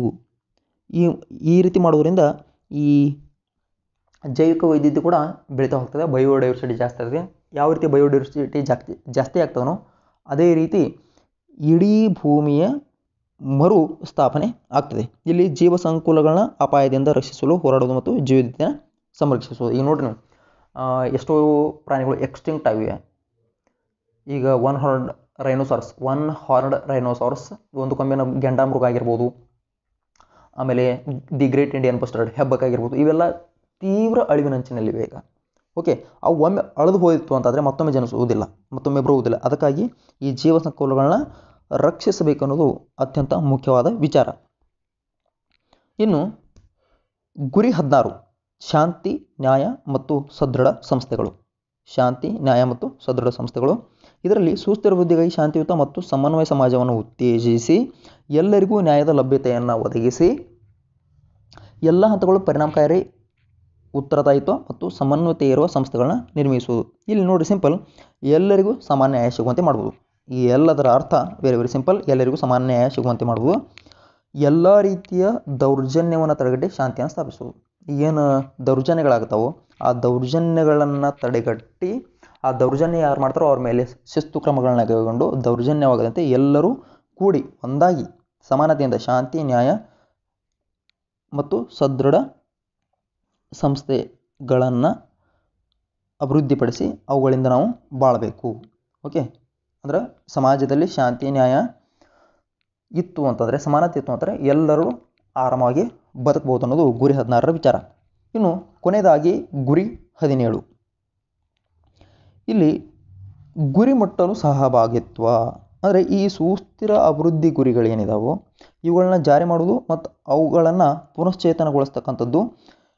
ಇದರಲ್ಲಿ ಎಲ್ಲರೂ ಸಹಭಾಗಿ ಅನ್ನೋದು ಈ ಗುರಿ ಹದಿನೇಳರ ವಿಚಾರ. ಇಲ್ಲಿ ರಾಜಸ್ವ ಕೊರತೆ ಮತ್ತು ವಿತ್ತೀಯ ಕೊರತೆಯನ್ನು ಕ್ಷೀಣಗೊಳಿಸುವುದು ಮತ್ತು ಬಂಡವಾಳ ವೆಚ್ಚವನ್ನು ಬಲಪಡಿಸುವುದು. ಸಿಂಪಲ್. ಈ ರಾಜಸ್ವ ಕೊರತೆ ಮತ್ತು ವಿತ್ತೀಯ ಕೊರತೆ ಏನೇನು ಮಾಡೋದು? ಕ್ಷೀಣಗೊಳಿಸುವುದು. ಆ ಕೊರ, ಕೊರತೆಗಳನ್ನು ಕಡಿಮೆ ಮಾಡಿ, ಈ ವಿತ್ತೀಯ ಕೊರತೆ ಅಂದರೆ ಹಣದ ಕೊರತೆಯನ್ನು ಕಡಿಮೆ ಮಾಡಿ, ಬಂಡವಾಳದ ವೆಚ್ಚವನ್ನು, ಈಗ ಯಾರಾದರೂ ಬಂಡವಾಳ ಮುಂದೆ ಹಾಕ್ ಮುಂದೆ ಬಂದರೆ. ಆ ಬಂಡವಾಳ ವೆಚ್ಚವನ್ನು ಕೂಡ ಬಲಪಡಿಸ್ತಕ್ಕಂಥದ್ದು ಈ ಗುರಿ ಹದಿನೇಳರ ವಿಚಾರ. ಓಕೆ, ಇದಿಷ್ಟು ಗುರಿಗಳ ಬಗ್ಗೆ ನೋಡಿದ್ವಿ.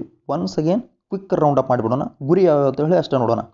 ಗುರಿ ಒಂದು ಬಡತನ ನಿರ್ಮೂಲನೆ, ಗುರಿ ಎರಡು ಹಸಿವು ಮುಕ್ತ, ಗುರಿ ಮೂರು ಉತ್ತಮ ಆರೋಗ್ಯ ಮತ್ತು ಯೋಗಕ್ಷೇಮ, ಗುರಿ ನಾಲ್ಕು ಗುಣಮಟ್ಟದ ಶಿಕ್ಷಣ, ಗುರಿ ಐದು ಲಿಂಗ ಸಮಾನತೆ, ಗುರಿ ಆರು ಸ್ವಚ್ಛ ನೀರು ಮತ್ತು ನೈರ್ಮಲ್ಯ, ಗುರಿ ಏಳು ಕೈಗೆಟಕಬಹುದಾದ ಮತ್ತು ಶುದ್ಧ ಇಂಧನ ಶಕ್ತಿ ಗುರಿ ಎಂಟು ಗೌರವಯುತ ಕೆಲಸ ಮತ್ತು ಆರ್ಥಿಕ ಬೆಳವಣಿಗೆ, ಗುರಿ ಒಂಬತ್ತು ಉದ್ಯಮ ಆವಿಷ್ಕಾರ ಮತ್ತು ಮೂಲಸೌಕರ್ಯ